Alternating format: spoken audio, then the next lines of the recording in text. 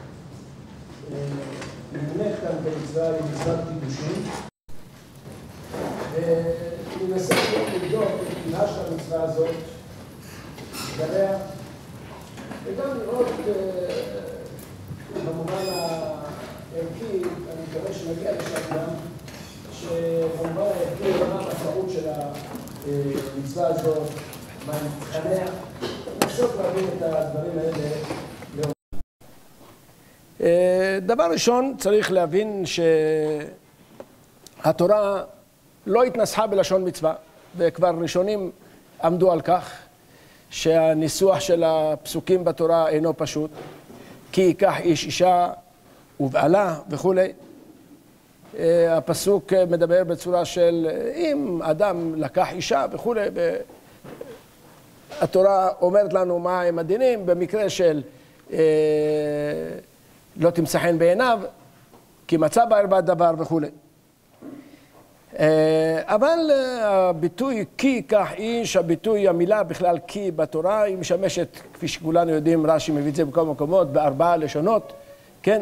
יש כי שמשמש בלשון כאשר ואם וכולי, אז יכול להיות שבאמת הניסוח הוא נשמע ניסוח אה, תנאי כזה, אם ייקח איש אישה, אבל יכול להיות שבהחלט גם אפשר להבין את הפסוק הזה במובן של כי, לא במובן של אם, ייקח איש אישה, אלא כשאדם רוצה לקחת אישה, עליו לעשות כך, ואז יכול להיות שאם זה כאשר, אז אפשר לראות בו את הפן החיובי של המצווה, אבל כפי שאמרתי, אנחנו מיד נלבן את הסוגיה הזאת.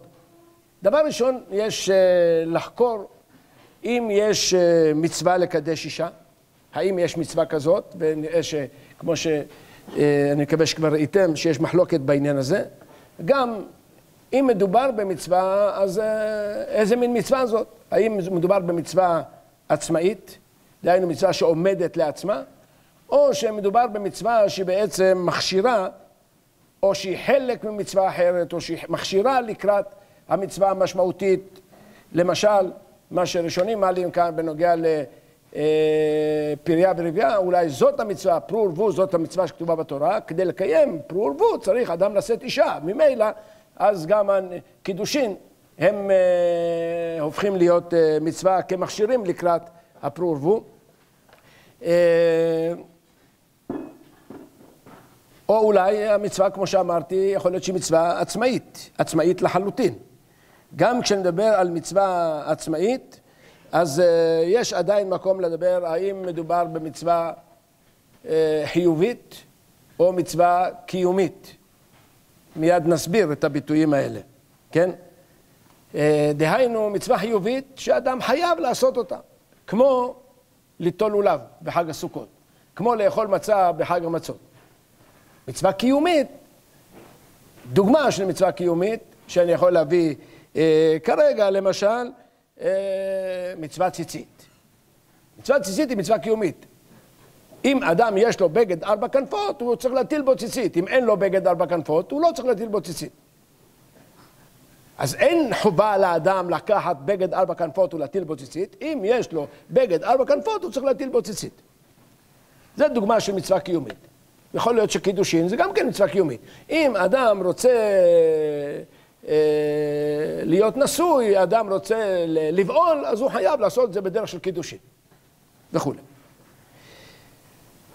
אז אמרנו שאלה אחת, אם בכלל יש מצווה, וב' אם יש מצווה, האם מדובר במצווה עצמאית או במצווה שמכשירה לקראת מצווה אחרת.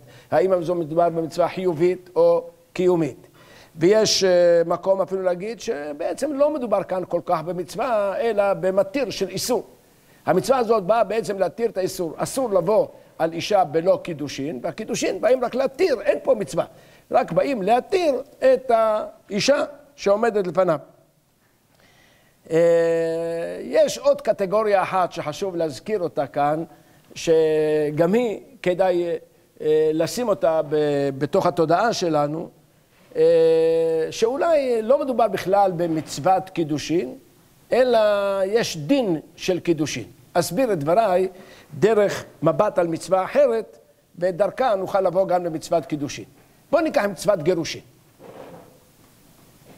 הרמב"ם במצוות עשה רכ"ב אומר, איש שציוונו לגרש את האישה.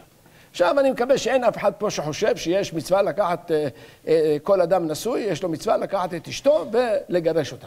כן? אל תדאגו, גם הרמב"ם מודע לזה, ולכן הרמב"ם כותב, אם נרצה לגרש, שאם ירצה יעשה את זה, יכתוב לספר כריתות וייתן בידה. שם ברור שלא מדובר במצווה.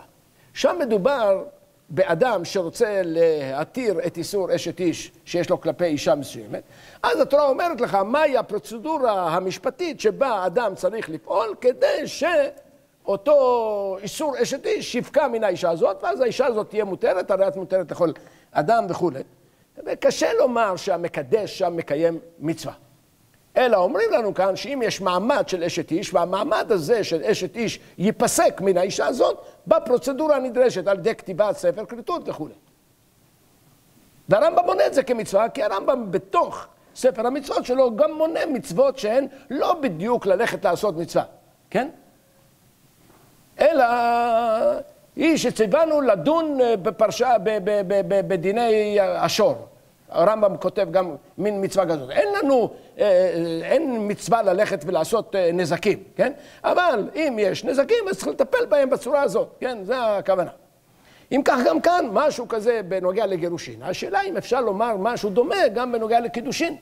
שאין לא מדובר במצווה, אלא מדובר בהליך פרוצדורלי, שהתוצאה שלו, התוצאה המשפטית שלו, שמדובר פה באישה שהיא אשת איש, שמי שיבוא עליה יתחייב אה, סקילה באירוסין או חנק בנישואין וכולי. האם זאת הכוונה? הנקודה הזאת בעצם אני, אה, היא נמצאת בפולמוס חריף בין הרב השואל לבין הריבש בסימן שצ"ח. זה לא היה לכם בדף, אבל אני רוצה לקרוא לכם כאן איזה שני משפטים כדי שהדבר הזה יהיה מובן. אומר הריבש שם באותה תשובה בשצ"ח ובוודאי שלקיחת אישה בקידושין מצוות עשה, ואינה דין בלבד, שהרי תקנו בה ברכה. הוא יוצא מנקודת הנחה שאם מברכים על משהו, לא מברכים על איזה יצירת אה, מערכת משפטית או חלות משפטית מסוימת. אם יש ברכה, יש, יש משמעות למעשה המצווה, זה לא רק דין. בהמשך הוא כותב,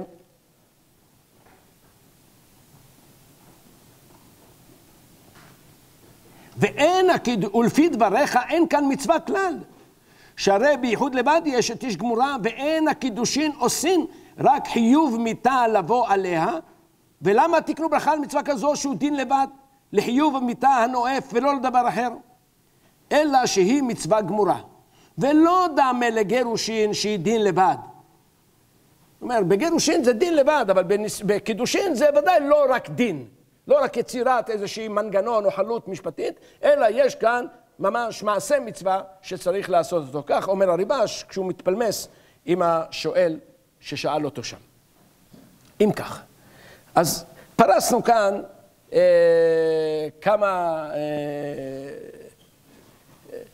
מעגלים של בירור שאנחנו צריכים לברר, אני אסכם אותם בתמצית. האם מדובר, האם יש בכלל מצווה, האם מדובר במצווה, האם מדובר במצווה חיובית או קיומית, האם מדובר במצווה עצמאית או במצווה שמכשירה למשהו אחר, אולי מצווה שבאה רק להתיר איסור, ואין כאן איזושהי מצווה, רק, רק אה, אתה צריך להתיר איזשהו איסור כאן, או אולי בכלל לא מדובר פה במצווה, אלא סתם בדין, באיזה אה, מנגנון של יצירת חלות משפטית של אשת איש, או בנגטיב שלו, בצד השלילי שבו בהפקעת איסור אשת איש.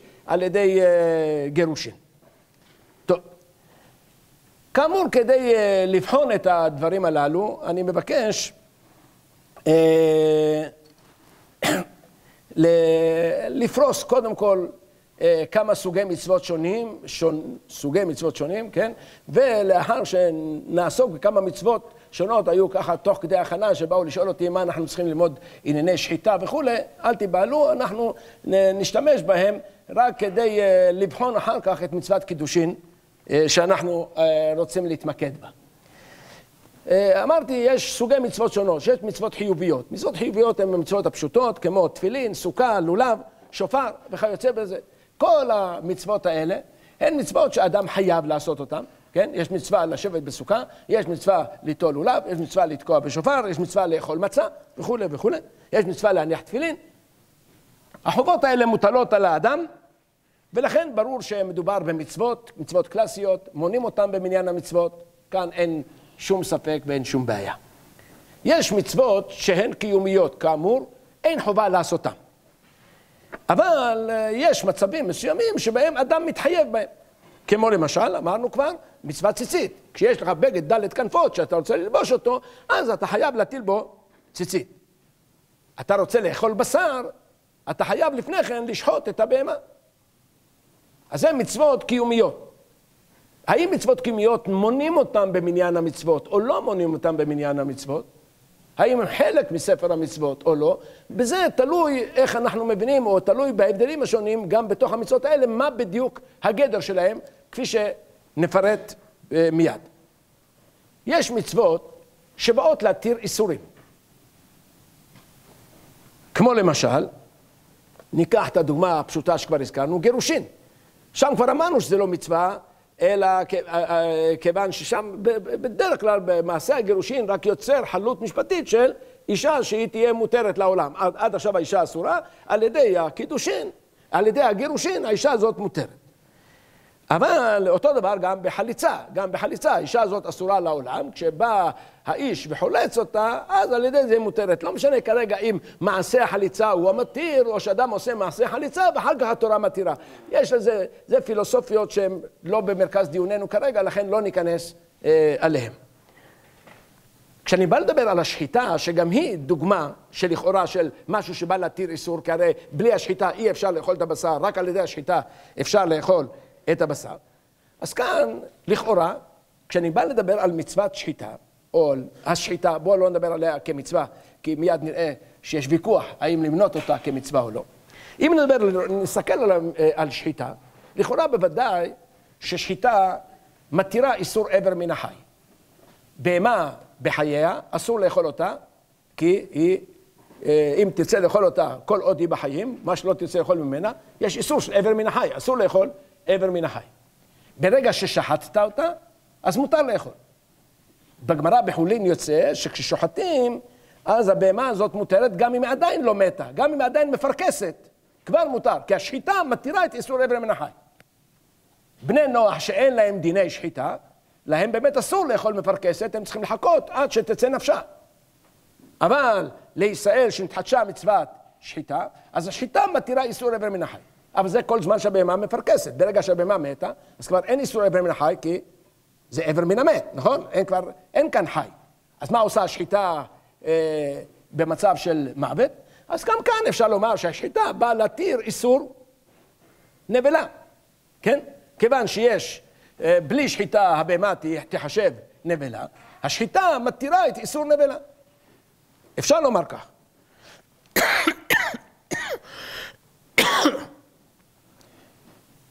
אז עכשיו, אבל עדיין יש מקום לאיזושהי התלבטות, שוב גם כאן, כיוון שהמוקד שלנו הוא לא דיון בדיני שחיטה, אני פחות רוצה להיכנס לזה, אבל כן חשוב לי להדגיש את זה, שלא ברור לי האם השחיטה מתירה את איסור הנבלה, או שהשחיטה רק מונעת מאיסור הנבלה לחול. כן? לא, בטור, לא ברור שהשחיטה מתירה את איסור הנבלה, יכול להיות שהשחיטה רק מונעת את איסור הנבלה לחול. אם כך, אז מעשה השחיטה לא יוצר חלות חיובית, הוא רק מונע את איסור הנבלה מלחול. אם השחיטה מתירה את איסור הנבלה, אז השחיטה יוצרת חלות חיובית, יוצרת איזו מציאות שמתירה את האיסור הזה. אם השחיטה לא אה, מתירה את איסור הנבלה, רק מונעת מאיסור הנבלה לחול, אז אין כאן יצירה, אה, איזושהי חלות פוזיטיבית שהשחיטה יוצרת. אז כאמור, אנחנו מתלבטים בנוגע לשחיטה, האם לאחר, שהנבלה, לאחר שהבהמה מתה. כל זמן שהבהמה בחיים ויש שחיטה, ברור לנו שהשחיטה מתירה את איסור עבר מן החי. זה הבאנו גם נפקות לגבי מפרכסת. שם אנחנו יודעים ודאי שהשחיטה מתירה איסור עבר מן החי. אבל לגבי הבהמה שכבר מתה, אז שם השאלה האם השחיטה מתירה את איסור הנבלה, או שמא השחיטה לא מתירה את איסור הנבלה, אלא מונעת מאיסור הנבלה לחול. בצד האפשרויות האלה, בצד האפשרויות האלה של התרת איסור נבלה או מניעת איסור נבלה לחול, קיימת גם אפשרות נוספת, שאולי הפסוק הזה שלומדים ממנו את, את השחיטה, שכתוב כי תאווה נפשך לאכול בשר וכולי, וזבחת ואכלת, כן? אולי עצם הפסוק הזה של וזבחת ואכלת יוצר לנו כאן אה, מין דין חדש שאולי התורה רוצה. אולי התורה, יש מצווה בתורה לאכול שחוט, לאכול בהמה שחוטה. ואז יכול להיות שהמצווה שנאמרה בתורה וזבחת ואכלת, כן? באה לומר לנו שיש מצווה לאכול שחוט, ואז מצוות השחיטה היא נובעת מן הפסוק זבחת ואכלת, אני עובר, אני עוזב את השאלה של האיסורים, של איסור עבר מן החי או איסור נבלה, שהשחיטה מתכתבת איתם ובאה להפקיע אותם או למנוע את חלותם וכולי, כמו שאמרתי קודם. יכול להיות שיש פה איזושהי אה, מצווה חיובית שהתורה, חיובית במובן הפוזיטיבי, שהתורה אומרת לך שאם אתה רוצה לאכול בשר, כן, אז אה, תאכל אותו כשהוא שחוט, ואז יש מצווה לאכול שחוט? פה בעניין הזה, הרמב"ם מנה בספר המצוות שלו אה, את המצווה לשחוט. אומר הרמב"ם, לשחוט, בעשה קמ"ו, לשחוט בהמה וחיה ועוף, ואחר כך יאכל בשרם. כך אומר הרמב"ם. אז יש מצווה לשחוט בהמה, חיה ועוף, ואחר כך יאכל בשרם. הרייבד שם משיג עליו, חולק עליו. ושם אומר הרייבד, אמר אברהם, זה אין לו טעם, ואולי לאו הבא מכלל עשה. הרייבד חולק, ואומר שיכול להיות שזה רק לאו הבא מכלל עשה. לא ברור לגמרי מה רוצה הרייבד בעניין הזה, ואני יכול להבין מוקד אחד של המחלוקת שיכול להיות בין הרמב"ם לבין הרייבד בנוגע למצוות שחיטה, הוא בשאלה האם, איך לראות את הפסוק וזבחת ואכלת, כן? האם הפסוק הזה בא לומר לאכול שחוט, שיש מצווה לאכול שחוט, ואם כך, אז ברור לנו למה הרמב"ם מונה את זה כמצווה. והרייבד חולק, אומר לא, אומר הרייבד, מה שכתוב בפסוק הזה, לא כתוב מצווה לאכול שחוט. ייתכן, אומר הרייבד, שכל מה שאומר הפסוק הזה, וזבחת ואכלת, שמכלל הן אתה שומע לאו. דהיינו, וזבחת ואכלת, מה שזבוח אתה אוכל, ומה שלא זבוח אתה לא אוכל. אם כך, יש איסור לאכול בהמה שאינה שחוטה, אבל אין מצווה לאכול בהמה שחוטה. אם כל מה שהפסוק הזה בא לומר לך שיש איסור לאכול בהמה שאינה שחוטה, אז זה לא מונים במניין המצוות. כי במניין המצוות אתה מונה מצוות עשה, לא מונה לאו הבא מכלל עשה. איסור, מתוך זה שהתורה אמרה וזבחת ואכלת, אתה לומד שיש איסור לאכול מה שאינו זבוח. ואולי הוויכוח בין הרמב"ם לבין הרייבד קשור לשאלה איך לראות את מצוות שחיטה, האם לראות אותה כמצווה לאכול שחוט, או כאיסור לאכול שאינו שחוט. ואז אין קיום באכילת שחוט. יש רק, אם אתה אוכל שאינו שחוט, יש איסור, איסור עשה, לאכול שאינו שחוט. אז יכול להיות שזה הוויכוח בין הרמב"ם לבין הרייבד. השאלה אם יש לנו פה איזושהי מצווה פוזיטיבית, או שרק איסור לאכול את מה שלא עבר את התהליך הזה של השחיטה. כן? יש איסור לאכול דבר שאינו שחור.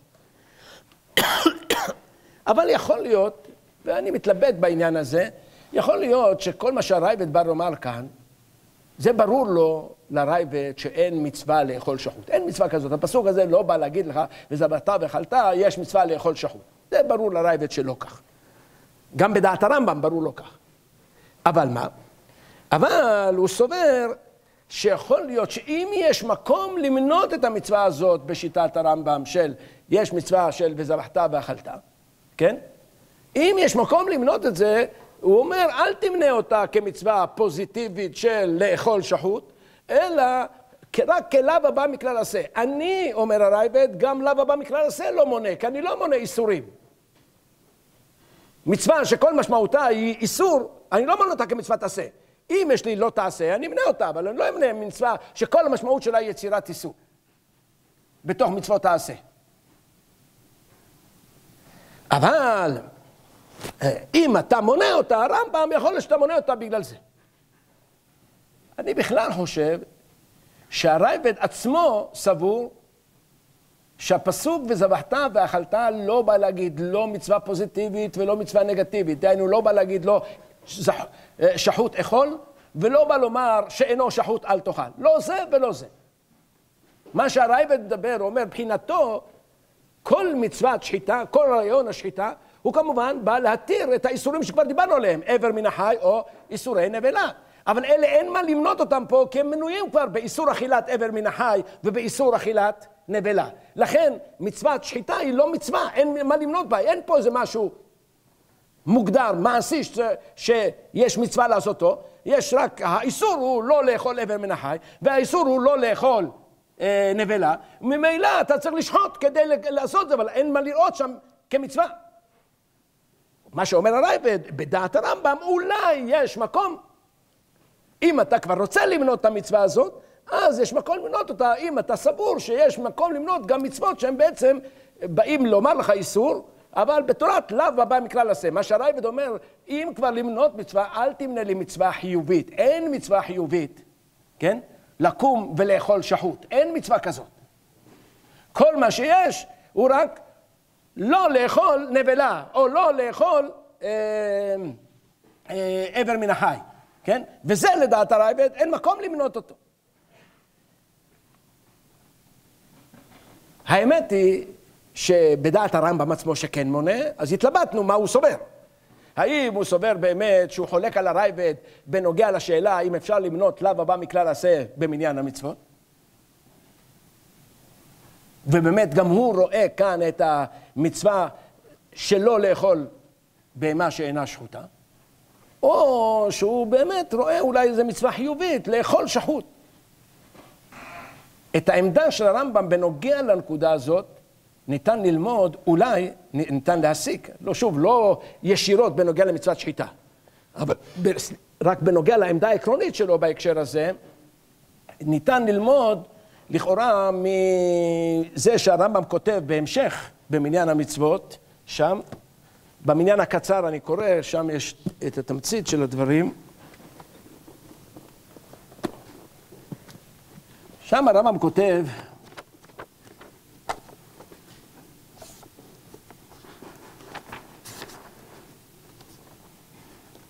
במצווה קמ"ט, כותב הרמב"ם, מצוות עשה לבדוק בסימני בהמה, שנאמר זאת החיה אשר תאכלו. קנ. לבדוק בסימני העוף, עד שיבדיל בין טמא לטהור, שנאמר כל ציפור טהורה תאכלו. אה, קנ"א, לבדוק בסימני חגבים, לידה טהור מן הטמא, שנאמר אשר לא קרעיים וכולי. אז הרמב"ם כאן מונה מצווה לבדוק בסימני בהמה טהורה, בסימני עוף טהור, בסימני חגבים טהורים. זאת אומרת, לדעת איזה בהמה טהורה, איזה בהמה לא טהורה, לדעת איזה עוף טהור, איזה עוף טמא, איזה חגב מותר, איזה חגב אסור. כך אומר הרמב"ם כאן. ולכאורה, כן, כאן קשה, אני חושב שכמעט בלתי אפשרי, אלא אם כן מישהו יבוא ויחדש דברים אה, שלדעתי אה, קשה מאוד לקבל אותם, להעלות על הדעת שתהיה מצווה, כן, לאכול עוף טהור. אין מצווה לאכול עוף טהור. אומרים לך, אתה, אם בא לך לאכול, תדאג להבדיל את הטהור מן הטמא, ואז כמובן תלך לטהור, אבל כשאתה אוכל טהור אתה לא מקיים מצווה.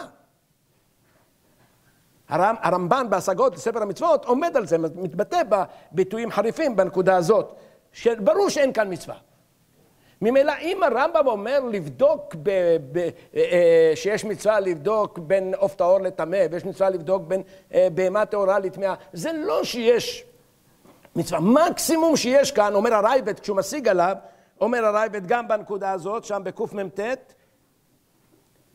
כל לבדוק, כל המצוות האלה שהרמב"ם מדבר עליהן, לבדוק ולבדוק ולבדוק, אין להם טעם. אלא משום לאו הבא מכלל עשה עשה, זה המקסימום, אתה יכול להגיד לך, שמזה שכתוב בתורה, כל ציפור טהורה תאכלו, מכאן אתה לומד שאסור לאכול בהמה שאינה, ציפור שאינה טהורה, או אסור לאכול, זאת החיה אשר תאכלו, מכאן שאסור לאכול חיה שאינה מקיימת את הסימנים של חיה טהורה או של בהמה טהורה.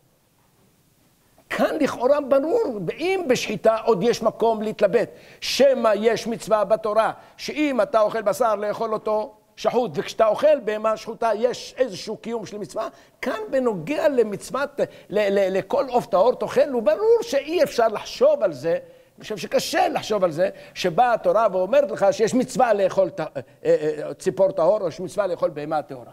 לכן כאן לכאורה, גם לעניות דעתי, מסתבר יותר שגם הרמב"ם, כן? כשהוא אומר מצווה לבדוק בסימני בהמה טהורה, הוא מוכן למנות גם מצוות כאלה שכל עיקר משמעותם המעשית היא בעצם איסור עשה. האיסור לאכול בהמה שאינה טהורה, או איסור לאכול עוף שאינו טהור. ואת זה מונים כמצווה, כמצווה לבדוק. אפשר כמובן לבוא להגיד שהרמב"ם מונה כל דבר שכתוב בתורה, ואולי זה בעצם אה, סוג של אה, דין, להגיד לנו שיש דין של בהמה טמאה ויש דין של בהמה טהורה, ואדם צריך להיות מודע לדברים האלה. אני, אפשר, אני לא אומר שזה בלתי אפשרי. מה שנראה לי יותר סביר כאן, שיכול להיות שלדעת הרמב"ם באמת, מוכן, הוא מוכן למנות במניין המצוות שלו גם מצוות שכל משמעותם היא לאו הבא מכלל עשה. כן. כן. למה להגיד שיש מצווה, שיש מצווה לאכול שחוט, אבל אין מצווה לאכול אותו? אני יכול להגיד שאם תרצה לאכול בשר, תאכל שחוט. אם תרצה לאכול עוף, תאכל אותו.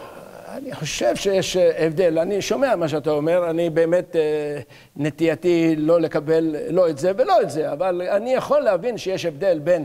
אה, פה לגבי שחיטה כתוב בתורה וזבחת ואכלת, כן? אז יש איזה מין אה, ניסוח כזה שאתה יכול להגיד שיש עניין לתורה שתאכל, אתה כמובן גם אם אומר שזה מצווה, זו מצווה קיומית ולא מצווה חיובית, שיהיה ברור. דהיינו, אם בא לך לאכול בשר, אין, אה, אז כשאתה אוכל אותו שחוט, אתה מקיים מצווה, כן? וזבחת ואכלת. זה אני יכול איכשהו להבין. בכל ציפור טהורה תאכל הוא להגיד שאם בא לך לאכול עוף, אז כשאתה אוכל עוף, אז אתה מקיים מצווה מעצם אכילת העוף, לא בשחיטה שלו, אלא עצם אכילת העוף.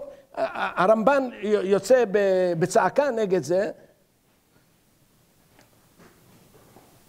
והדבר ידוע שאין הכוונה לומר שבאוכלנו הבהמה או הדג בעלי הסימנים הטהורים נעשה מצווה ואם נצודם ולא נאכל אותם נעבור עליה.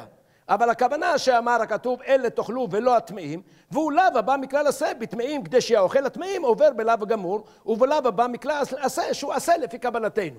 מה שאומר הרמב"ן וזה אני יכול להבין. את הדבר הזה אני יכול להבין. עכשיו מכאן אני בא אל אה, מצוות ציצית. במצוות ציצית שם אה, הרמב"ם מונה את מצוות ציצית במצוות עשה י"ד, שיש, אה, וגם כאן, גם במצוות ציצית, יש, תיאורטית, יש מקום לדון עד כמה יש מצוות עשה להטיל ציצית, או שאולי יש רק איסור ללבוש בגד בלי ציצית. שגם שם אולי אין איזה משהו פוזיטיבי. אה, בנקודה הזאת, הרמב"ם מנה את מצוות עשה של אה, ציצית, וכמובן בעניין הזה הרייבד וגם הרמב"ן לא השיגו עליו והסכימו איתו. בניגוד למצוות שחיטה ומצוות בדיקת סימני טהרה, ששם הרייבד והרמב"ן חלקו עליו, בנוגע למצוות אה, ציצית אה, לא חלקו עליו, כן? וכאן כתוב, והשאלה היא, למה הם לא חלקו עליו? אז כאן אפשר לומר, שיש הבדל בין מצוות ציצית אה, למצוות שחיטה. חובת ציצית לא באה להתיר איסור. במצוות שחיטה היא באה להתיר את האיסור נבלה, כמו שאמרנו, או להתיר איסור אבן מן החי. זה מצוות ציצית, זה מצוות שחיטה. ולכן על אה, מצווה שבאה להתיר איסורים, על זה יכול להיות שיש ויכוח בין הרמב"ם לבין הרמב"ן והרייבד, האם למנות אותם או לא. אבל במצוות ציצית, יש פה מצווה להטיל ציצית, יש פה איזה קיום בלבישת אה, ציצית. ואז לכאורה אולי אפילו אין איסור ללבוש בגד של ארבע כנפות בלי ציצית. מי שלובש בגד של ארבע כנפות בלי ציצית, הוא לא עובר איסור. הוא רק לא מקיים מצווה. כי התורה אמרה להטיל בו ציצית. נסביר, ניתן דוגמה. יש דיון אה, במורדכי בהלכות ציצית, בסימן תתקמ"ד. יש דיון מה קורה לאדם, אני, אה, הנה, הנה הדוגמה. אה, אני מצטט את הדברים. כותב, היה אומר הרב רבי שלמה מדרוש, שאם נפסק לאיש חוט של טלית בשבת, שאסור ללובשו, עד שיתקן אותו, שאם לובשו עובר בעשה, יש לו ארבע כנפות. ושברי דלייטה, כדמוכח בשמעתין. דאף על גב דאיפסיק בכרמלית דרבנן וכולי. לכן נראה לרי דמצוות עשה דציצית אינו אלא להטיל בו ציצית כשילבשנו. ולא אמר הכתוב בלשון לא תלבש בגד שיש לו ארבע כנפות בלא ציצית. דאז ודאי היה דין עמו, אלא מצוות עשה גריידא להטיל בו ציצית. ומכל מקום אין הטלית אסור ללבוש, וגם אין עובר, כיוון שאין אתה יכול להטיל בו משום שהוא שבת. ובחול ודאי עובר על כל שעה שלובשו בעשה להטיל בו ציצית. בואו נסביר את הוויכוח שקיים כאן בין uh, הרי לבין הרבי שלמה מדרוש שהתווכחו ביניהם בנקודה הזאת. בואו נסביר מהי נקודת הוויכוח. התורה אמרה, אם יש לך בגד ארבע כנפות, תטיל בו ציצית. השאלה האם המשמעות של זה היא שיש איסור ללבוש בגד בלי ציצית. או שכל מה שהתורה אמרה זה, אם יש לך בגד של ארבע כנפות, תטיל בו ציצית. תשאלו מה נפקא מינה, בכל מקרה, ברגע שיש לך בגד ארבע כנפות, אתה צריך להטיל בו ציצית. כן? אבל פה יכולה להיות נפקא מינה. אם למשל, יש לי בגד ארבע כנפות, ואומנם יש לי, עליו, יש לי עליי מצווה להטיל בו ציצית, ועל זה אין ויכוח, אבל מה קורה אם זה, יש לי, הבגד הזה הזדמן לי בדיוק בשבת. ואני בשבת לא יכול להטיל בו ציציות, כי אסור להטיל ציציות בשבת בבגד. עכשיו השאלה היא, מצד מצוות עשה להטיל בו ציצית, אני מנוע בגלל הלכות שבת. האם אני יכול ללבוש את הבגד הזה בשבת? ביטול עשה אין כאן, כי ביטול עשה זה רק אם אתה יכול לקיים את העשה ואתה לא אה, מקיים אותו. כאן אין ביטול עשה, אבל השאלה היא, אם היה איסור, אם המשמעות של התורה כשהיא אומרת לך שבבגד ארבע כנפות תטיל בו ציצית, הייתה לזה משמעות שבגד שיש בו ארבע כנפות אסור ללבוש אותו כל זמן שאין בו ציצית. אז כמובן, גם אם אתה מנוע בשבת מלהטיל בו ציצית, אבל אסור לך ללבוש את הבגד הזה. זאת שיטת רבי שלמה. אבל שיטתו של רי שכל מה שהתורה אמרה זה שיש מצווה תעשה להטיל בו ציצית, אבל אין איסור ללבוש בגד כזה בלי ציצית. ולכן יהיה הבדל לגבי בגד כזה בין יום חול לבין שבת. ביום חול אל תלבש אותו, כי כל רגע שאתה יכול להציל ציצית ואתה לא מציל ציצית, אתה מבטל מצוות עשה להטיל בו ציצית. אבל בשבת שאתה לא יכול להטיל ציצית, אז אה, ביטול עשה אין כאן, ואיסור ללבוש בגד בלי ציצית, אין כאן לפי ההבנה הזאת שלו, כן? ועל זה בדיוק הוויכוח, איך לראות את אה, מצוות ציצית. אז פה אני אומר, זה בנוגע לנקודה הזאת של אה, האם אה, מצווה ציצית אומרת אסור ללבוש בגד ארבע כנפות בלי ציצית, או שהיא אומרת התל בו ציצית. היא לא אומרת שאסור ללבוש בגד ארבע כנפות בלי ציצית, היא אומרת תטיל בו ציצית. אה, לדעתי יש עוד הבדל מהותי ויסודי יותר בין שחיטה לבין ציצית, ואת זה אני רוצה להסביר. תראו, בנוגע למצוות שחיטה התלבטנו האם יש רק איסור עשה, או שיש פה גם איזה מבט חיובי של לאכול בהמה שחוטה. שם באמת אין לי סיבה להגיד שיש מצווה חיובית לאכול בהמה שחוטה, כי כיוון שהאיסור הזה של איסור עבר מן החי ואיסור נבלה, הם איסורים קדומים, הם איסורים קודמים, קיימים לי במערכת ההלכתית שלי כבר קיימים לי האיסורים האלה. אז ברור למה באה התורה אומרת לשחוט. אז התורה באה ואומרת לשחוט, אולי כדי לנטרל את האיסורים האלה, אבל היא לא אומרת לשחוט כדי לייצר איזשהו מנגנון אה, פוזיטיבי, אלא רק כדי לשלול את האיסורים שכבר קיימים. בנוגע לציצית, מה ש... גם אם נניח שיש איסור ללבוש בגד של ארבע כנפות בלי ציצית, גם אם נניח שיש איסור כזה, הרי האיסור הזה, קודם כל, מאיפה הוא בא? הוא לא קיים כאיסור כשלעצמו. אם קיים איסור כזה, זה רק אחרי יש מצווה להטיל אה, אה, ציצית בבגד של דלת כנפות. אחרי שיש מצווה כזאת, אז יכול להיות שהתורה גם אוסרת ללבוש בגד כזה בלי להטיל בו, ארבע, אה, בלי להטיל בו ציצית. מובן? ולכן, אם בנוגע לשחיטה יש מקום להתלבט, האם יש קיום כלשהו בשחיטה, כי אולי כל השחיטה, זה מה שאומר הרייבד, כל השחיטה היא רק לבבא מכלל עשה, היא לא יותר מזה. בנוגע לציצית אי אפשר לומר שכל הציצית זה רק לבבא מכלל עשה. גם אם יש איסור ללבוש בגד כנפות, ארבע כנפות בלי ציצית, גם אם יש, אם הפסוק הזה בא ללמד אותי לאו הבא מכלל עשה, גם אם נקבל את זה, את שיטת רבי שלמה ולא את שיטת רי, שחולק. גם אם נקבל את זה, אי אפשר להגיד שיש רק לאו הבא מכלל עשה. כי כאן ברור, כדי שיהיה לאו הבא מכלל עשה, צריכה קודם כל לבוא המצווה להטיל בו ציצית, רק אחר כך נוצר האיסור. ולכן המצווה ודאי קיימת. בנוגע למצוות שחיטה או לבדיקת סימנים, אה, אה, סימני טהרה, שם יכול להיות שבאמת אין שום מצווה חיובית. למה? כי ודאי שיש איסורים קודמים, יש איסור לאכול בהמה שאינה אה, ציפור טמא או, או בהמה טמאה, ויש איסור לאכול נבלה. זה כבר איסורים קיימים, לכן מצוות השחיטה, אתה יכול להגיד שכל מה שהתורה אומרת במצוות השחיטה, היא רק אומרת את הלאו הבא מכלל עשה, ולא את העשה עצמו. בציצית אתה לא יכול לומר את זה. כך לעניות דעתי, נראה לי פשוט. אנחנו לומדים את זה מכך ש... כן. שבעצם שאיסורי נבלה ועבר מנחה יופיעו לפני באופן עצמאי? כן. עצם העובדה שקיימים איסורים כאלה, כשבאה מצוות אה, שחיטה, אני יודע על איזה רקע היא באה, כן? ולכן אני יכול להגיד שהמצוות שחיטה לא באה להגיד לנו איזה מצווה פוזיטיבית, לך תשחט, אלא כל המצווה הזאת באה להגיד לך, לך ת, תפתור את הבעיות שכבר קיימות בשטח, ואז זה נקרא לאו הבא מכלל עשה. אתה מבין? אבל מה שאין כן, בנוגע למצוות ציצית, לדעתי קשה לומר את הדבר הזה, כן? כיוון שגם אם נניח שיש איסור ללבוש בגד ארבע כנפות בלי ציצית, כן? האיסור הזה נוצר בעקבות העובדה שהתורה אמרה, גדילים תעשה לך על ארבע כנפות שלך אשר תכסה בה. ואסור להם ציצית על כנפי בגדיהם לדורותם.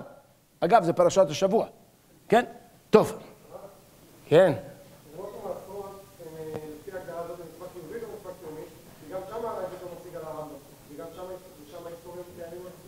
תרומות ומעשרות זו שאלה גדולה שאני לא רוצה להיכנס אליה עכשיו, האם uh, המצווה להפריש תרומות ומעשרות חייבת, uh, כל פירות שהם תבל חייבים להפריש מהם תרומות ומעשרות, או שתרומות ומעשרות חייבים להפריש מהם, uh, שפירות של תבל חייבים להפריש תרומות ומעשרות רק אם אתה רוצה לאכול. לכן השאלה אם זה חיובי או קיומי, יכול להיות, אבל שם ודאי יש מצווה. שאלה חיובי או קיומי זאת שאלה אחרת. שם, אה, אה, קשה, אני מתקשה לומר שמצוות, אה, בפרשת תרומות מעשרות, המצווה שם תהיה רק כדי שלא לאכול תבל. שם ודאי יש מצווה, אני חושב כך, שיש מצווה, ל... יש שאלה אם זה מצווה חיובית או קיומית, זאת שאלה. בתרומות ומעשרות. כי על זה יש כנראה מחלוקת בראשונים, האם בתרומות ומעשרות יש, רק אם אני רוצה לאכול את הפירות אני חייב להפריש, או ש... ואז אם, אני, אם יש לי פירות תבל שאני לא מעוניין לאכול אותם, אני לא חייב להפריש אותם, או שיש מצווה להפריש גם אם, אה, אם, אתה לא חי... אם אתה לא הולך לאכול, כן? אבל לדעתי זה לא קשור ישירות לנקודה שלנו, האם זה רק למנוע איסור או לא, כן? יכול להיות שזה. שונה. טוב, אני ממשיך הלאה. אני עכשיו עובר, אחרי כל ההקדמה הזאת, אנחנו עוברים למצוות קידושין. במצוות קידושין, שוב, הרמב"ם מנה את מצוות קידושין כמצווה. עשה רשת ג' יש מצוות קידושין. גם כאן הראב"ד והרמב"ן לא השיגו, לא רק שלא השיגו, בראב"ד אפילו בהלכות אישות פרק ג' כ"ג, כשהרמב"ם מדבר על ברכת האירוסין כברכת המצוות, כן, והוא אומר שצריך לברך אותה לפני כן, הראב"ד מקבל עקרונית את הנחת הרמב"ן, שאח... הרמב"ם, שאכן מדובר בברכת המצוות, רק הוא חולק עליו בעניין הזה, האם חייבים לברך עובר לעשייתם, או שבמצוות כאלה שתלויות אה, באחרים כדי לקיים אותן, יכול להיות שאפשר לברך עליהם גם אחרי העשייה. טוב, זה עניין אחר, אבל הרמב"ם, הרייבד מסכים עם הרמב"ם שמדובר בברכת המצוות, זאת אומרת שיש פה מצווה, לכאורה. אה, וגם הרמב"ן, נראה מדבריו, שהוא סובר שיש מצווה בקידושין, הרמב"ן כפי שמיד נראה, הוא רק לא חושב שיש לברך ברכת המצוות בקידושין בגלל סיבות שעוד מעט נעמוד עליהן. על כל פנים, אז לגבי מצוות קידושין, אז יש פה הראשונים האלה, גם הרמב"ם, גם הרייבד, גם הרמב"ן, מסכימים שיש מצוות קידושין, והם מבינים שיש גם איזשהו קיום. עכשיו ככה, לגבי איך להבין את מצוות קידושין, כן? אז כאן הרמב"ן והראב"ד ששללו לפני כן, הן בנוגע לשחיטה והן בנוגע לבדיקת סימני טהרה של עופות ובהמות, הם שללו את הלאו הבא מכלל עשה, אז לכאורה, אם הם מונים את מצוות קידושין כמצוות קידושין, אז אי אפשר להגיד שמצוות קידושין זה רק האיסור לחיות עם אישה בלי קידושין. ברור שאם יש מצוות קידושין והם מונים אותה כמצווה, שיש פה גם אה, מצווה פוזיטיבית, דהיינו, יש קיום בלקדש אישה. אצל הרמב"ם יש מקום להתלבט. כי אצל הרמב"ם הרי הוא מנע את מצוות שחיטה ואת מצוות בדיקת סמני טהרה, שזה רק לאו הבא מכלל עשה. האם כך הוא רואה גם את מצוות קידושין, שזה רק לאו הבא מכלל עשה? דהיינו, האם מצוות קידושין לדעת הרמב"ם היא רק ביטוי לכך שהדרך היחידה שבה מותר לחיות עם אישה היא רק על ידי קידושין, ואם אתה תחיה עם אישה בלא קידושין, אז יש כאן אה, לאו הבא מכלל עשה? או שמא הרמב"ם רואה גם כן איזה מצווה חיובית במצוות קידושין. כאן אני אומר שוב, עקרונית, אצל, הרמב, אצל הרמב"ן והרייבד אין לי ספק שברור שהם רואים פה קיום. כי אם זה היה רק לאו הבא מכלל עשה, אז הם היו צריכים להתווכח גם בקידושין, כמו שהם התווכחו בשחיטה ובבדיקת סימני, טהרה. אבל מהי עמדת הרמב"ם? כי הרמב"ם כנראה סבור שהם מונים גם מצוות שהם לאו הבא מכלל עשה. האם קידושין זה לאו הבא מכלל עשה? או שמא יש בקידושין גם קיום, גם מצוות עשה לקדש אישה. דהיינו בפן החיובי של העניין. אז כאן, לדעתי, אני נוטה לחשוב בצורה ברורה אה,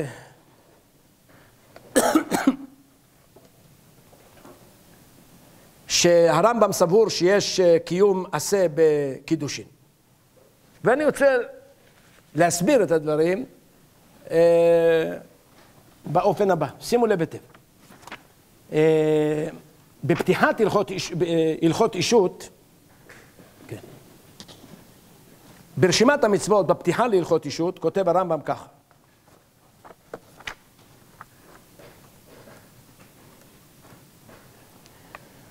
יש בכללן ארבע מצוות.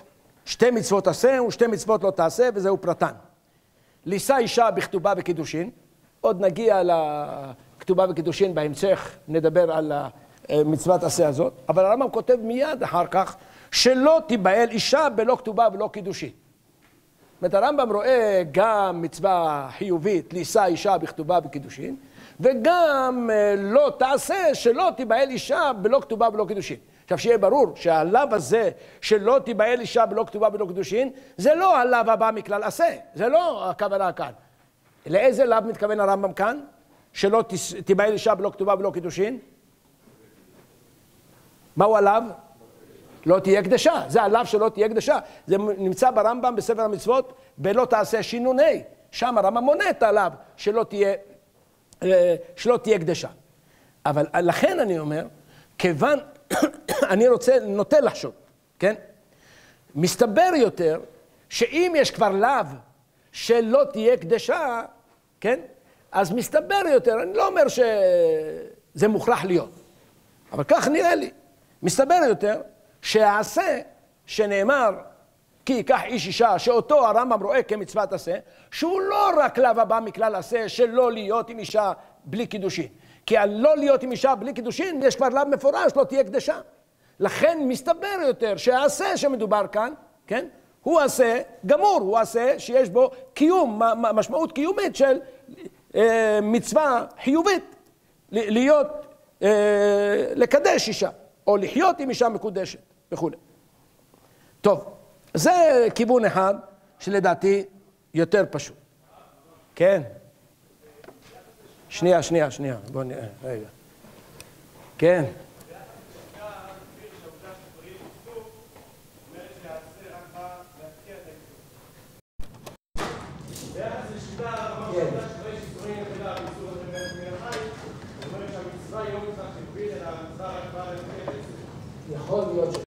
אוקיי.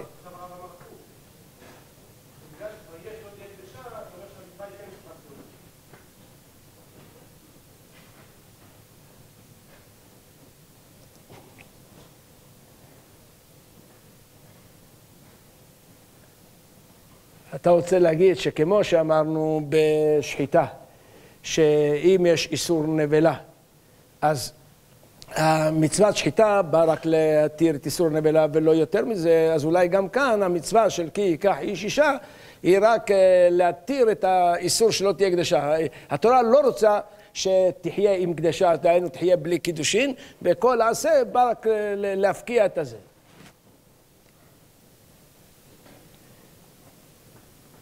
טוב, יכול להיות, אני אדגיש כאן רק, לעניות דעתי, למרות ההערה שלך, אני צודק, אבל אני, בגלל ההערה שלך, אני אוסיף נדבכים, הוכחות נוספות לכיוון הזה. זאת אומרת, לי ברור שבמצוות קידושין הרמב"ם רואה אותה לא רק כשלילת האופציה לחיות בלי קידושין, לא רק הנגטיב של לא תהיה קדשה, אלא יש פה גם איזשהו אה, יסוד אה, אה, חיובי בעניין הזה, ואת זה אני רוצה להסביר ככה. הרמב"ם, הגריד, כן? מביא ראייה שהרמב"ם סובר שאכן יש קיום, הרב סולובייצ'יק מביא ראייה שהרמב"ם סבור שיש קיום במצוות קידושין, קיום חיובי, מזה שמברכים ברכת המצוות בקידושין, כך הוא אומר.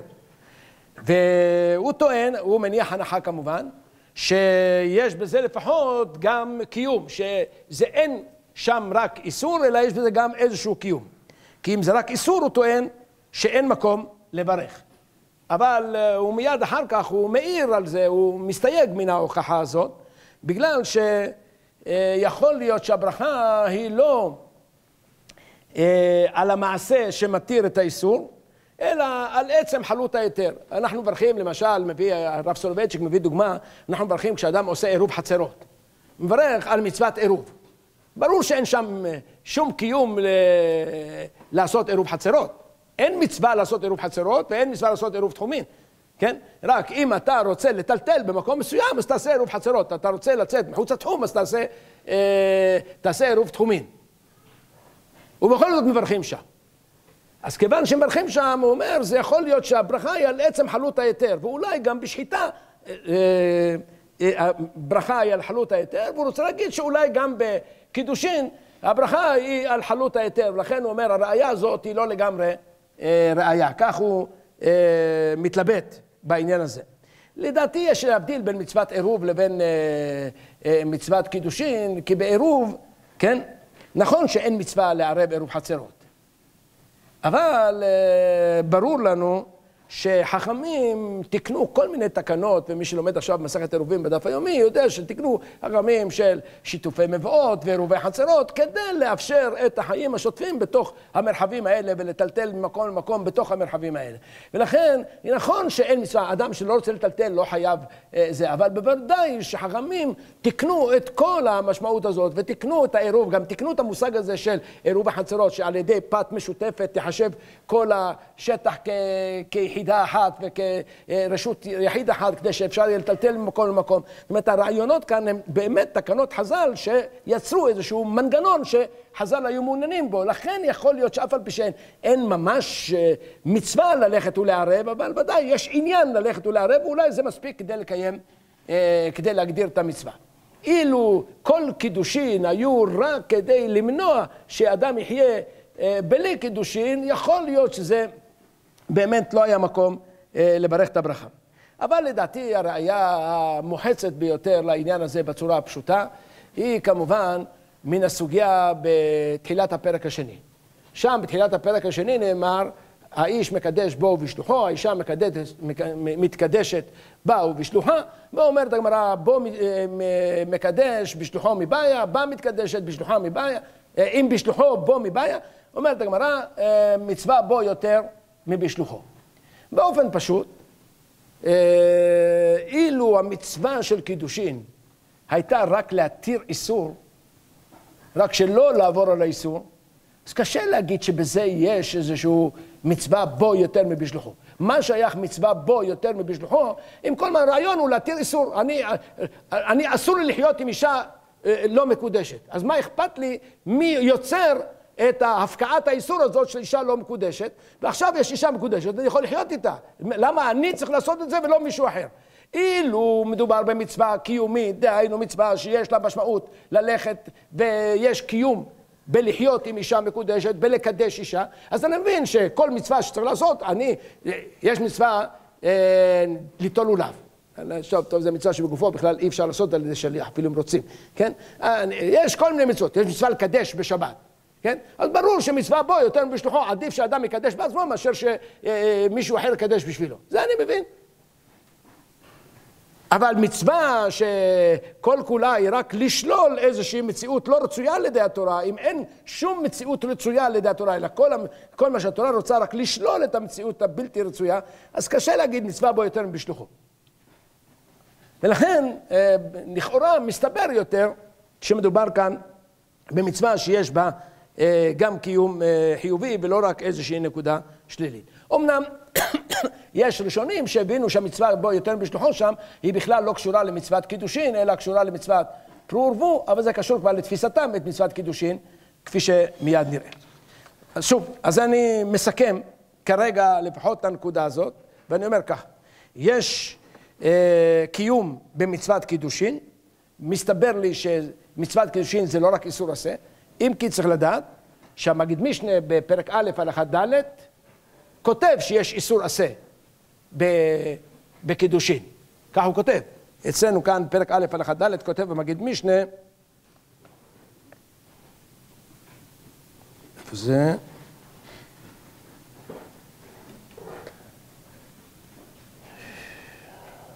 כן, הנה.